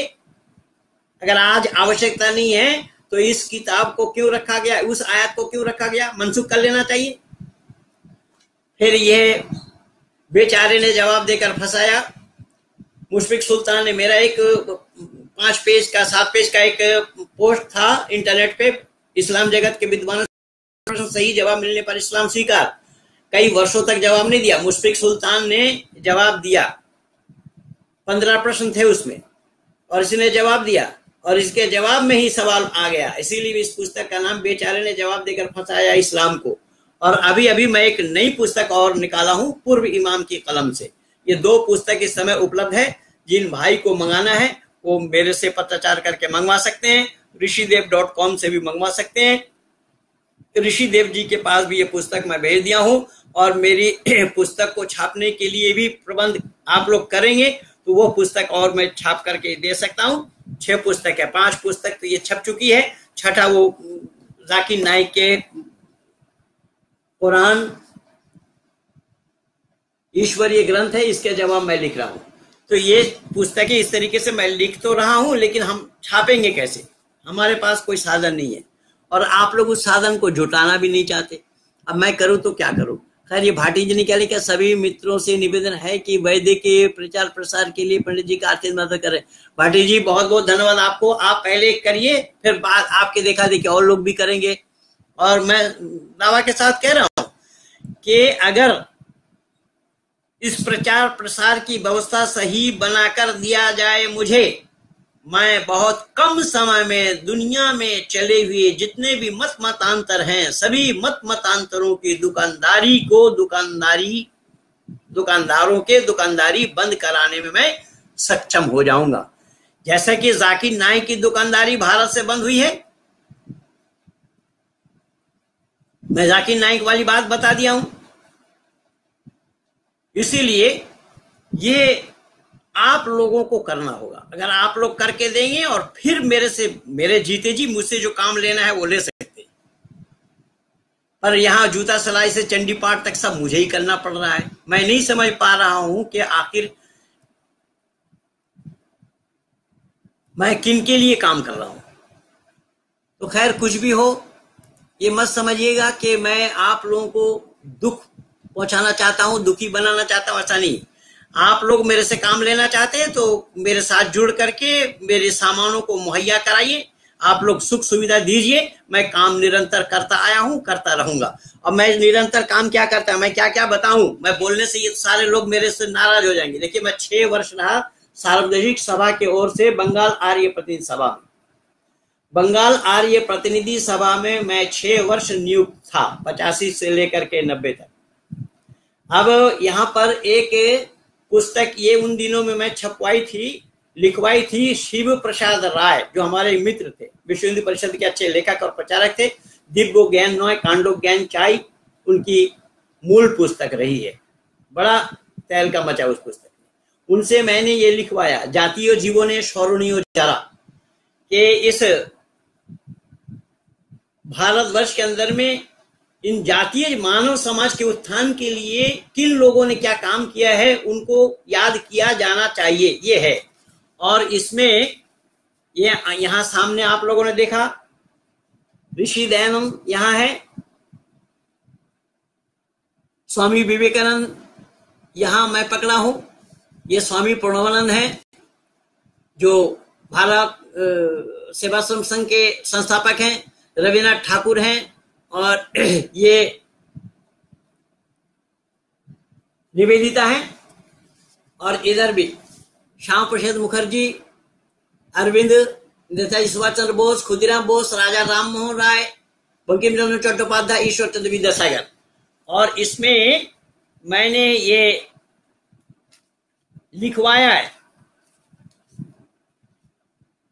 देखिए, यह है ऋषि दयानंद, तपोनिष्ठ दयानंद सरस्वती।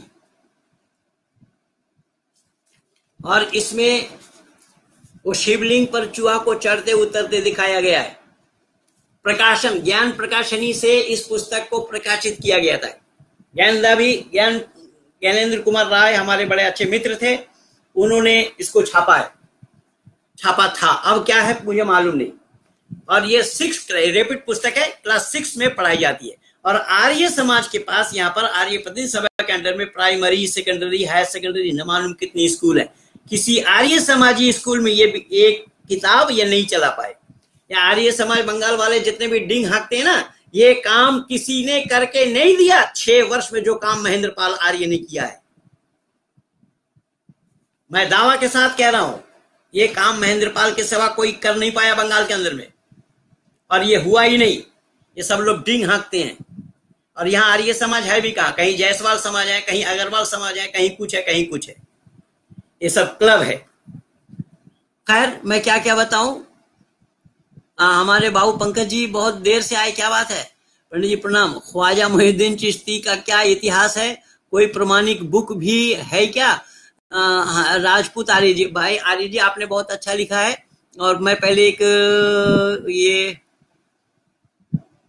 और लश्कर लश्कर क्या लिखते हैं কলকি কলকি অবতারের কবে আসবে গুরুজি কলকি অবতার ইহা আমাদের এখানে অবতারবাদ নেই অবতার হয় না এই অবতারবাদের উপরেই তো জাকির নাইকের দোকানদারি বন্ধ হয়েছে और यहाँ लिखा है ये कोई खाजा मोहिद्दीन चिश्ती खाजा मोहिद्दीन चिश्ती के लिए आपको बताऊं खाजा मोहिद्दीन चिश्ती ने जितना नरसंहार किया हिंदुओं का अरे मुसलमानों का बोलबाला भारत में हुआ है इन सब लोगों के कारण, जिनको सूफी कहते हैं। ये सूफी मीठा जहर है, मीठा जहर। इन्होंने हिंदुओं का कत्ल आम करके या करा के इस्लाम का विस्तार किया है। ये जितने भी हैं, मुसलमान भारत में, वो सब उन्हीं के वंशज हैं। सूफियों का इतिहास पढ़िएगा तो पता लगेगा। आर्य जी। ऋतुराज। जी कंठ के नीचे दोनों स्थानों के बीच में उदर के ऊपर जो हृदय देश के जिसको ब्रह्मपुरी, जी, बिल्कुल ठीक कह रहे हैं। बस वही है, वहाँ जहाँ पर ऋषि ने बोला है, वही आत्मा को यहाँ इस स्थान में बताया है बाया साइड में।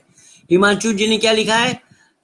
चलाने वाले ऋषि देव जी से मंगा सकते हैं। हाँ मैं बोला तो। ऋषि देव जी से दिल्ली से पुस्तक मंगवा सकते हैं। Rishi Ved Rishi dot com, W W W dot Ved Rishi dot com, ये आप वहाँ से भी पुस्तक का आप दिल्ली से भी पा सकते हैं, दिल्ली में पा जाएँगे। और मेरे से भी डायरेक्ट मंगवा सकते हैं। ये सौरभ शर्मा जी, ये प्रश्न क्या निर्माण, ये विश्व अच्छा ये विश्व का निर्माण पुरुष और स्त्री से हुआ, अर्थात शिव और शक्ति से। जब पुरुष और पुरुष और प्रकृति दो हैं तो ईश्वर का एक होना कैसे संभव है? तो ईश्वर भी चार छह होना चाहिए था, सौरभ जी, ना? इस समग्र विकास का निर्माण केवल परंपरा शिव और अध्य शक्ति के समागम से हुआ है। अरे, मूर्ख! इतना समझाया जाना है, इतना बताया जा रहा है, तब भी मानने के लिए तैयार नहीं। अब ये शर्मा है। भाई काय का शर्मा है? शर्म तुम्हें है या नहीं है? काय के शर्मा हो? तीन के बगैर कोई चीज़ बन जाएगा क्या? यहाँ भी आप लोग ना जुड़ते होते तो मैं किसको सुनाता? सवाल ना लिखते होते मैं जवाब किसको देता? और ये लैपटॉप इन तीनों में से एक हटा कर दिखाओ। शर्मा लिख रहे जब मैं इतना बता रहा हूँ, इतना समझा रहा हूँ, फिर भी समझने के लिए तैयार नहीं है। शिव है कौन? और शिव अगर है, चलो मैं मान लिया, अगर शिव अगर उस परमात्मा को ही लेते हो तो शिव नाम परमात्मा का शिव के माने कल्याणकारी है। लेकिन उस शिव के साथ जिस महिला को तुमने जोड़ा, वो कौन है? जो दोनों ने मिलकर के बनाया है। और दोनों के द्वारा विश्व का बनाया जाना संभव नहीं है। सृष्टि की रचना करना संभव नहीं है। मैं पचास बार बोल चुका हूँ। इसलिए जो नमाज़ पढ़ते हैं ना, वहाँ पर भी तीन चीज़। तीनों का बगैर नमाज़ का होना संभव नहीं है। नमाज़ पढ़ने वाला जिनके लिए नमाज़ पढ़ी जावे और मस्जिद या नमाज़, इन तीनों में से एक हटाव नहीं होगा। आप शर्मा पूजा करते हो, सौरभ जी, पूजा के लिए भी तीन चीज़ चाहिए। पूजा करने वाला पूजा की सामग्री है, जिसकी पूजा किया जाए। तीन के बगैर कहाँ चलना है? तीन के बगैर कौन चीज़ चला सकते हैं? कौन काम कर सकते हैं आप? दुकानदार, दुकान में सामान और खरीदार, इन तीनों में से एक को हटाओ। बकवास मत करो। पढ़े लिखे लोग ऐसी बेकार की बातें नहीं करते। ये लिखा है, क्या लिखा है भाई? सेन साहब, पंडित जी, नमस्ते। नमस्ते जी। मैं क्षत्रिय हूँ और नेपाल से हूँ।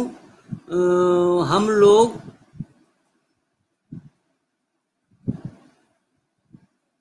हम लोग क्या लिखा है? जानई, जनई लगता हूँ। जानने लगता हूँ, लेकिन इसका जानकारी दे प्लीज़ किसकी जानकारी चाहते हैं भाई आप? उसकी जानकारी लिखी क्या चाहिए? पंडित जी, क्या कुरान में लव जिहाद करने की कोई आज्ञा है? मैं बोला हूँ सुरा निसा आयत नंबर 24 को देख लीजिए।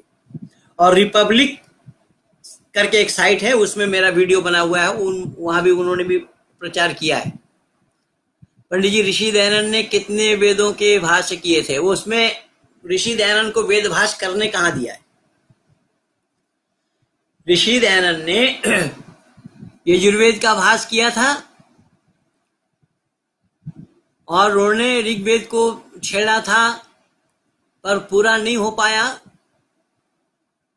उसके बाद भी हमारे विद्वानों ने पूरा किया है। नाइस वीडियो, जी, धन्यवाद। रघु सरोलिया, पंडित जी, क्या जीव में गुरु बनाना ज़रूरी है?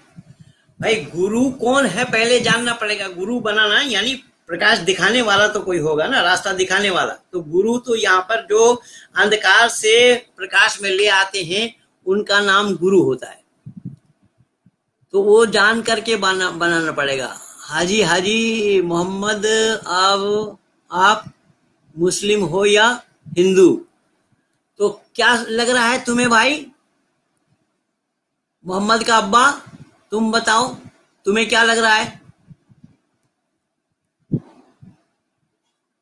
अमित तिरुपति, क्या आपको लगता है कि हिंदू धर्म पाँच संप्रदायों में मिलकर बना है? सिख धर्म, जैन, बौद्ध, ये सब इसमें से निकले हैं। हमारा धर्म का नाम है सत्य सनातन वैदिक धर्म, आदि सृष्टि से। आदि सृष्टि से मनुष्य मात्र के लिए सत्य सनातन वैदिक धर्म है, इस पे मेरा बहुत सारा वीडियो लगा हुआ है। तो इसमें से ये सारे निकले हैं। पर ये जिस बुद्ध को महात्मा कह रहे हैं, बुद्ध का महात्मा होना कभी भी संभव नहीं है। एक नास्तिक व्यक्ति को महात्मा कहना यह हिंदुओं की बहुत बड़ी भूल है। इसको जानना पड़ेगा। इसलिए जाने बिना ये सब बात गलत पढ़ा जा रहा है। अनिल जुअल जी जी हिंदू सनातन धर्म को चोट पहुंचाई।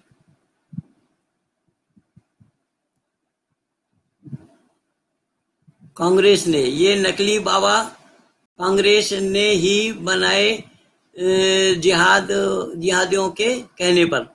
हाँ खैर, वो तो है ही, पर वो तो देन है, पर उसमें केवल आप नेहरू को बोलेंगे तो बात बनेगी नहीं। उसमें मोहनदास करमचंद गांधी के हाथ छोटे हैं क्या? कभी मौका मिलेगा मैं सुना दूँगा। मोहनदास करमचंद गांधी और नेहरू ने सत्य सनातन वैदिक धर्म पर जो कुठराघात किया है, इस कुठराघात करने से स्वामी श्रद्धानंद जी ने कांग्रेस को छोड़ दिया था। आज कोई भी आर्य समाज के लोग अगर कांग्रेस में हैं तो वो आर्य समाजी नहीं है। चाहे वो अपना क्या है वो? दिल्ली के मुख्यमंत्री भी रहे हैं और दिल्ली के लोकसभा के अध्यक्ष भी रहे हैं। सदानंद शास्त्री, क्या नाम था उनका? मालवीय नगर वाले, चौधरी हीरालाल जी के दामाद, वो गुरुकुल के स्नातक हैं। स्वामी श्रद्धानंद के जीवनी को नहीं पढ़ा। खैर कि हिंदू शब्द गलत है, आपको सनातन शब्द का प्रयोग करना चाहिए।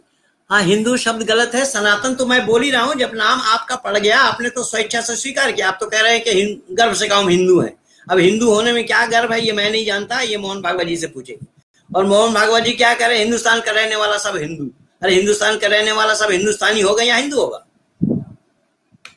ये गलत बयानी कर रहे हैं लोग। पर भाई, मैं तो दस से, नौ से दस तक समय दिया था, दस बज करके इक्कीस मिनट हो गया है। अब मैं आप लोगों से रुखसती चाहूँगा। सभी मित्र शेयर करें। हाँ हरी जी बोल, ठीक कह रहे हैं आप? सभी मित्र शेयर करें। ये हमारे मित्र मंडली लोग कह रहे हैं कि अच्छा ये सब वही घूम करके आ रहा है।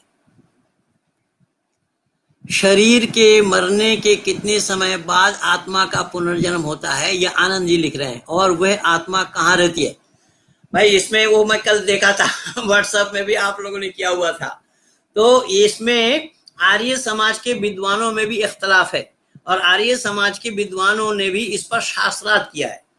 कुछ विद्वानों का मानना है कि देन देर जन्म लेती है आत्मा, शरीर धारण करता है और कुछ लोगों ने माना है कि कुछ दिन के बाद, कई दिनों के बाद वो विचरण करने के बाद। पर ऋषि दयानंद की मान्यता क्या है? यजुर्वेद के चालीसवा अध्याय को पढ़ लेंगे आप। वहाँ पर तीन चार मंत्र को पढ़ेंगे तो उससे पता लग जाएगा। वहाँ पर स्पष्टीकरण दिया है ऋषि दयानंद ने। तो ऋषि दयानंद की जो मान्यता है, वही मान्यता हमारी है। हम किस विद्वान ने क्या किया है, उसकी जिम्मेदार मैं नहीं हूँ। पंकज सैनी के लिए वी वेस्टर्न थेरो है मानव तब से है जब पृथ्वी पर जीवन संभव हुआ किसी जीव के लिए। भाई, वो तो ठीक है, पर कुछ लोगों का ख्याल है, ऋषि दयानंद ने सूर्य में भी बसते हैं लोग तो कुछ लोगों ने विशेष करके तारिक जमाल नाम की, तारिक जमील नाम का एक है, उसने भी लिखा है, ऋषि दयानंद ने क्या खोया, क्या पाया उसने लिखा है। पर उसको ये पता नहीं है, जो जहाँ जन्म लेते जिस वातावरण में जन्म लेते उस वातावरण में उसको जीने में क्या आपत्ति है? गोबर में कीड़ा जन्म लेता है कि नहीं? उस कीड़ा को ला करके आप पलंग पर रखेंगे, पलंग पर रह पाएगा कीड़ा? तो जहाँ वो जन्म लिया, वहाँ पर वो रहेगा। तो सूरज में जो जन्म लेते हैं, वो बसु है। बसने का नाम बसु है। तो वहाँ जो जन्म लेंगे, वो वहाँ रहेंगे। इसमें कोई असुविधा वाली बात है नमस्ते पंडित जी। मैं कार्तिका, ओ, बहुत बहुत धन्यवाद बेटा। देखिए, मैंने आप लोगों को बताया था कि मेरे बनाए हुए बहुत सारे ऐसे शिष्य मंडली हैं और परमात्मा की असीम अनुकंपा है।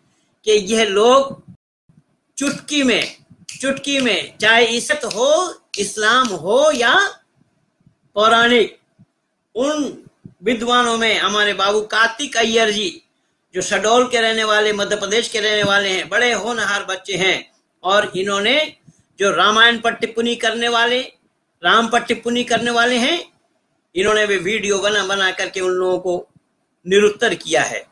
और कार्तिक जी अभी विद्यार्थी हैं, लेकिन परमात्मा की असीम अनुकंपा है। मैंने उनको ताकीद किया हुआ है कि बेटा कैरियर पहले है। पिताजी ने जो खर्च किया है आपके ऊपर, पहले पिताजी का ध्यान रखना है। बाद में आप मेरे साथ जुड़ करके काम करेंगे। मैं अभी पिछले दिन बताया था कौन आ रहा है डिबेट करने के लिए। आओ, मेरे एक कार्तिक अय्यर और मालदा का रहने वाला विप्लव मंडल, ये दो को हरा करके दिखाओ। वो वैसा ही अनेक है। भारत के जिस प्रांत में आप बोलेंगे, उस प्रांत में मैं दे दूँगा। अभी कतर से आए हुए हैं एक सिन्हा साहब, जो कतर में थे पहले। कतर में रहते हुए मेरे साथ जुड़े हैं, जो जमशेदपुर के रहने वाले हैं। वो भी चुटकी में उड़ा रहे हैं जमशेदपुर के इस्लाम वालों को। ऐसा अनेक है, एक दो नहीं। अभी रांची में भी एक है, मैं अभी उनका नाम लेना नहीं चाहता। तो इस तरीके से जहाँ कहीं आप बोलेंगे, उस शहर में। अपने कार्तिकैया जी क्या लिखते हैं बेटा? मैं कार्तिकैया रूल मेरा प्रश्न यह है कि कुरान में कहीं जानवरों पेड़ पौधों आदि में आत्मा लिखा है या नहीं? नहीं, इन्होंने नहीं माना है। इन्होंने नहीं माना है कार्तिक जी। विजय पंडित जी, आपके पास जो सत्या प्रकाश है, अगर वो मिलावटी नहीं है तो उसे हम तक पहुँचाने वर्तमान समय में डॉक्टर सुरेंद्र सत्या प्रकाश आप झज्जर गुलकुल आ जाएँगे ऋषिदेव से संपर्क कीजिए। ऋषिदेव डॉट कॉम से संपर्क कीजिए। वो आपको भेज देंगे।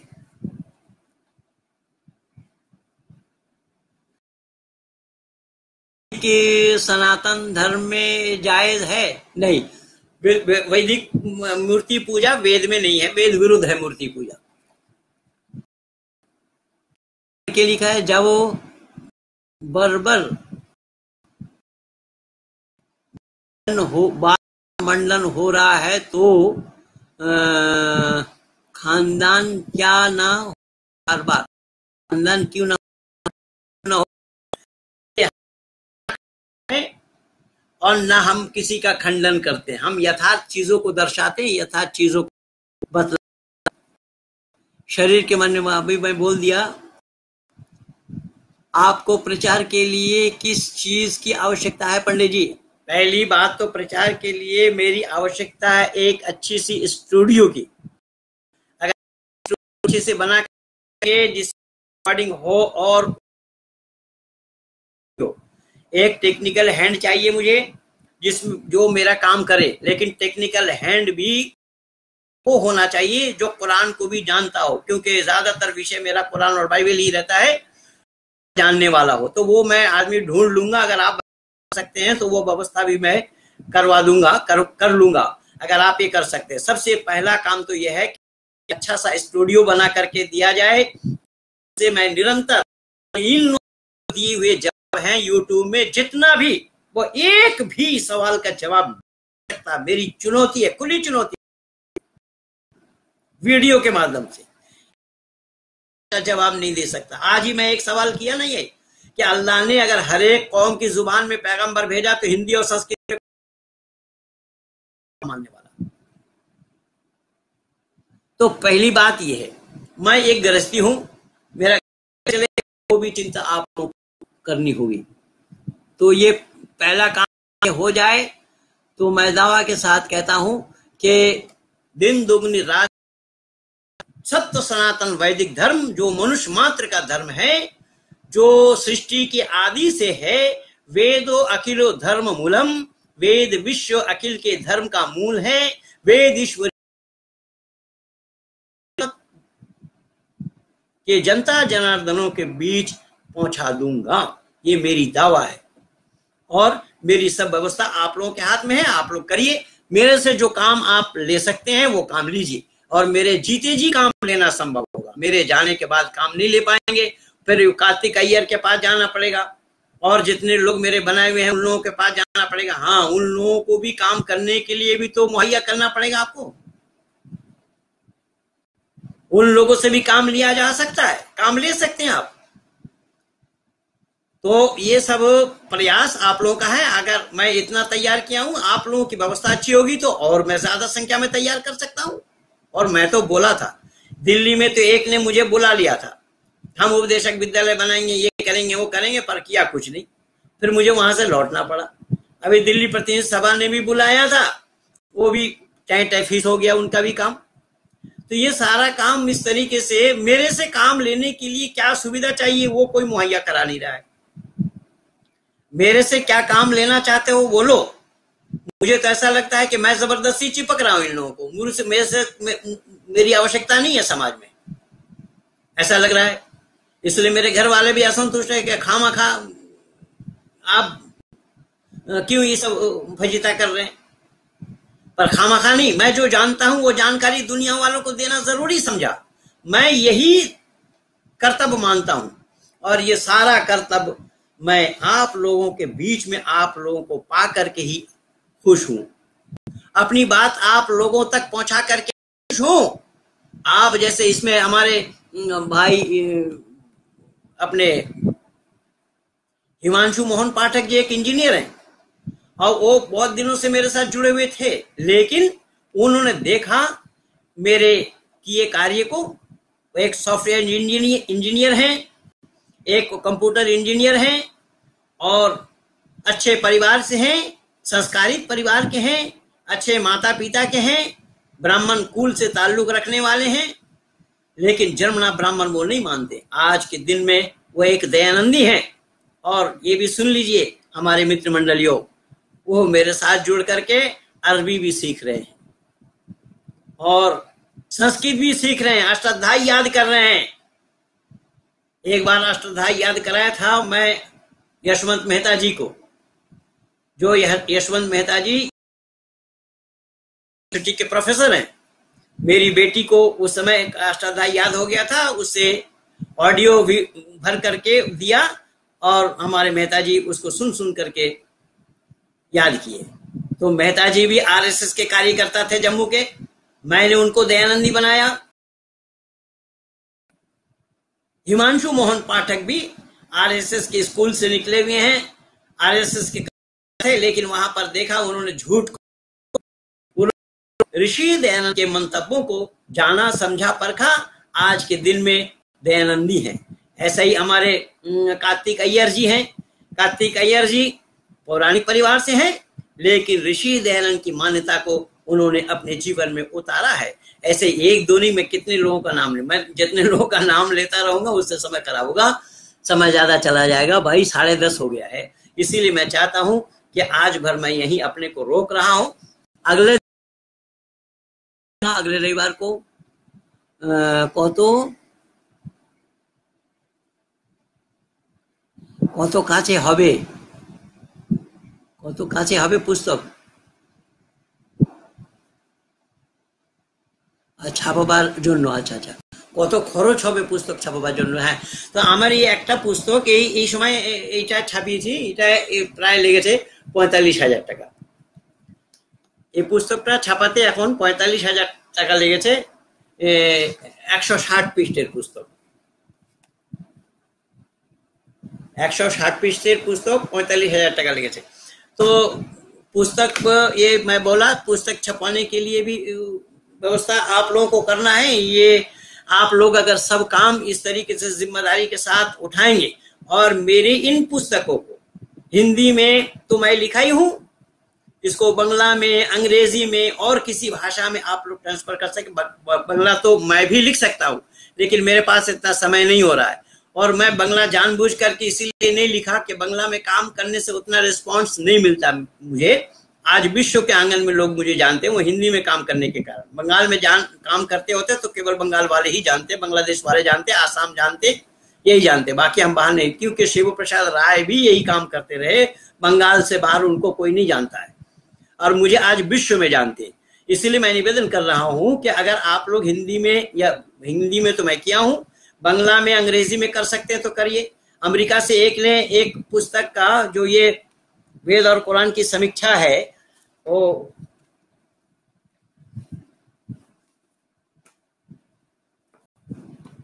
वेद और कुरान की समीक्षा है। इसको अमेरिका से एक ने अंग्रेज़ी में अनुवाद करके दिया है। मैं एक को प्रूफ करने के लिए दिया हूँ। वो प्रूफ देख करके मुझे देंगे, वो उसे भी छपवा सकते हैं आप। तो इस तरीके से काम बहुत है।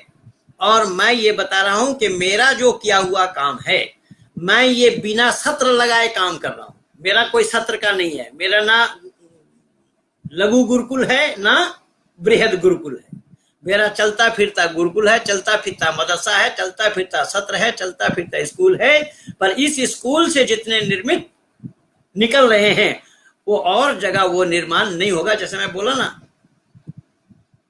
कार्तिक अय्यर जी का नाम लिया। ऐसा निर्माण नहीं होंगे, क्योंकि दो दुल में आचार्य बनने से वो आचार्य थोड़े बनेंगे। एक तो अपने नाम से आर्यवत लिख रखा है।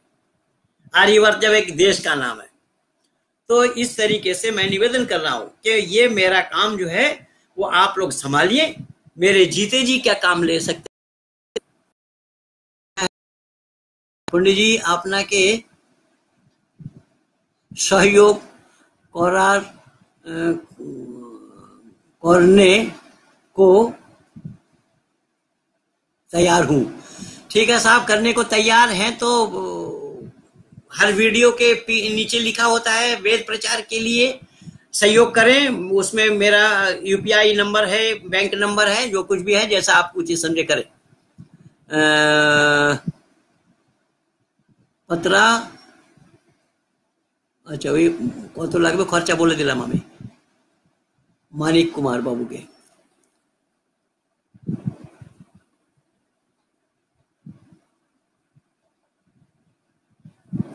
सेन बाबू के पंडित जी, नमस्ते। ये तो आगे पढ़ दिए थी भाई अपना। के इस्लामी सुन्नी जिहादी। भाई, ये गाली गलौज लिखने के लिए मैं मना किया था। ये असभ भाषा का इस्तेमाल ना करें। यहाँ गाली गलौज नहीं, यहाँ सब भाषा पर इस्लाम कितना संकीर्ण है देखिएगा। मैं बोला था, अभी ईद के दिन में मुरादाबाद में एक लड़की आधा कपड़ा पहनकर लड़कों के गले लग रही है। लड़के ये हराम है, हराम, मना नहीं, केवल हराम है। औरत छुपा कर रखने वाली चीज़ को कहा जाता है। और ममता बनर्जी के भाई साहब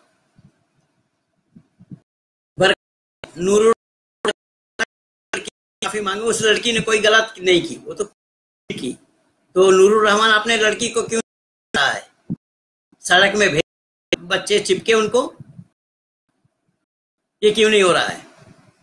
पर इस्लाम कितना संकीर्ण है, वो तो मैं आप लोगों को बता दिया बहुत अच्छा पंडित जी, मैं नेपाल से हूँ। जी जी जी।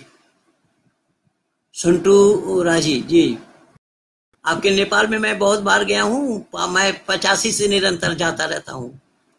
पंडित जी, प्रकाश की भी यहाँ, जी उस असल में मैं ये टेक्निक हूँ ना, दूसरे से करना पड़ता है, खाली तो मेरा काम करके देंगे। इसीलिए तो मैं बोल रहा हूँ कि टेक्निकल हैंड करा दीजिए तो मैं और काम करता हूँ। उसका जो सीरियल मेरा बन रहा है, सतत प्रकाश का, उसके बाद मैं हक प्रकाश भी दूँगा बताया था, वादा किया था। और उसके जवाब में जो चौधरी का चाँद, पंडित चंपति मैंने लिखा है, उसका भी अच्छा मैं बताऊँगा। पर मेरे पास टेक्निकल हैंड ना होने के कारण मैं खुद हैंड नहीं हूँ, दूसरे से काम कराना पड़ता है सबके पास है? और मैं किसी को रखने मेरे पास वो ताकत तो आप लोग ये सब व्यवस्था करिए। आप लोग ये सब व्यवस्था कराएँगे। मोदी जी से कह करके, जबकि मोदी जी गुजरात के मुख्यमंत्री थे ना, उन दिनों में मेरा सबसे पहला open challenge to doctor Zakir Naik व पंडित महेंद्र पाल आर्य ट्रूथ विजडम 2008 ये अग्निवीर ने मेरे साथ ये विश्वासघात किया है। उस समय अग्निवीर का जन्म नहीं नहीं हुआ था। ट्रूथ विजडम 2008 के नाम से मेरा साइट बना था, वो यशवंत मेहता, राजवीर आर्य बैंक वाला मुरादाबाद के, मुरादाबाद वो रहने वाले तो बिजनौर के ही है, पर मुरादाबाद के नाम से जानते और ये अग्निवीर, जो के संजीव नेवर, ये मिल करके मेरा साइट बनाया था। लेकिन उसने मेरा वो पासवर्ड दिया नहीं और उसको खत्म करके फिर वो अग्निवीर को जन्म दिया। उस समय वो नौकरी करता था। खैर, ये विश्वासघात किया है मेरे साथ। मेरे बहुत सारे डॉक्यूमेंट्स को अपने पास लेकर के वो हजम कर दिया। मुझे लौटा करके नहीं दिया। मेरे एक फ़िल्म बनाया था डॉक्यूमेंट्री फ़िल्म बनाया था, वो भी मुझे आज तक नहीं दिया। ये सब काम हुआ है। वो अग्निवीर। आप सबसे निवेदन है कि हिंदी भाषा में टिप्पणी दें। जी हाँ जी हाँ जी, बिल्कुल, अतुल बाबू। आपने बिल्कुल ठीक कहा कि अंग्रेज़ी पढ़ने में, वहाँ मिला मिला करके पढ़ने में परेशानी होती है। और कुछ भी है, पर दस बज करके चालीस मिनट हो गया है। मैं आज तक यहीं पर रोकना चाहता हूँ, अपने को विराम देना चाहता हूँ। और आप सब लोगों से करबद्ध प्रार्थना यही करूँगा कि मेरे इस वीडियो को शेयर कीजिए, लाइक कीजिए, सब्सक्राइब कीजिए, औरों तक पहुँचाने के लिए जितना साधन आप लोगों से जुट सके वो जुटाइए। और मेरे काम को करने के लिए जो जो साधन के लिए मैंने बताया, उस पर आप लोगों का क्या सहयोग है, क्या सहयोग कर सकते हैं? हर वीडियो के नीचे हिमांशु जी ने मेरा अकाउंट नंबर यूपीआई नंबर सब वो डाला हुआ है, उसमें आप काम कर सकते हैं, डाल सकते हैं। पर पेटीएम मेरा काम नहीं कर रहा है, मैं नहीं समझ पाया कि उसका क्या कारण है, मैं टेक्निकल हैंड ना होने के कारण पेटीएम को मैं चला नहीं पा रहा हूँ। उसमें क्या कुछ राशि है, वो भी मैं देख नहीं पा रहा हूँ, वो खुल नहीं रहा है। उसमें क्या परेशानी है मुझे नहीं मालूम। तो आप सब लोगों के ऊपर यह ज़िम्मेदारी है कि महेंद्र पाल आर्य के जीते जी महेंद्र पाल आर्य से क्या काम ले सकते हैं, आप लोग लीजिए। इन्हीं शब्दों के साथ आप सब लोगों को नमन करता हुआ, आप सब लोगों को धन्यवाद देता हुआ, आप सब लोगों का शुक्रिया अदा करता, करते हुए वाणी को यहीं पर ही मैं विराम दे रहा हूँ। अगले रविवार फिर 9 से 10 बजे तक पुनः मिलेंगे इन्हीं शब्दों के साथ सबको नमस्ते।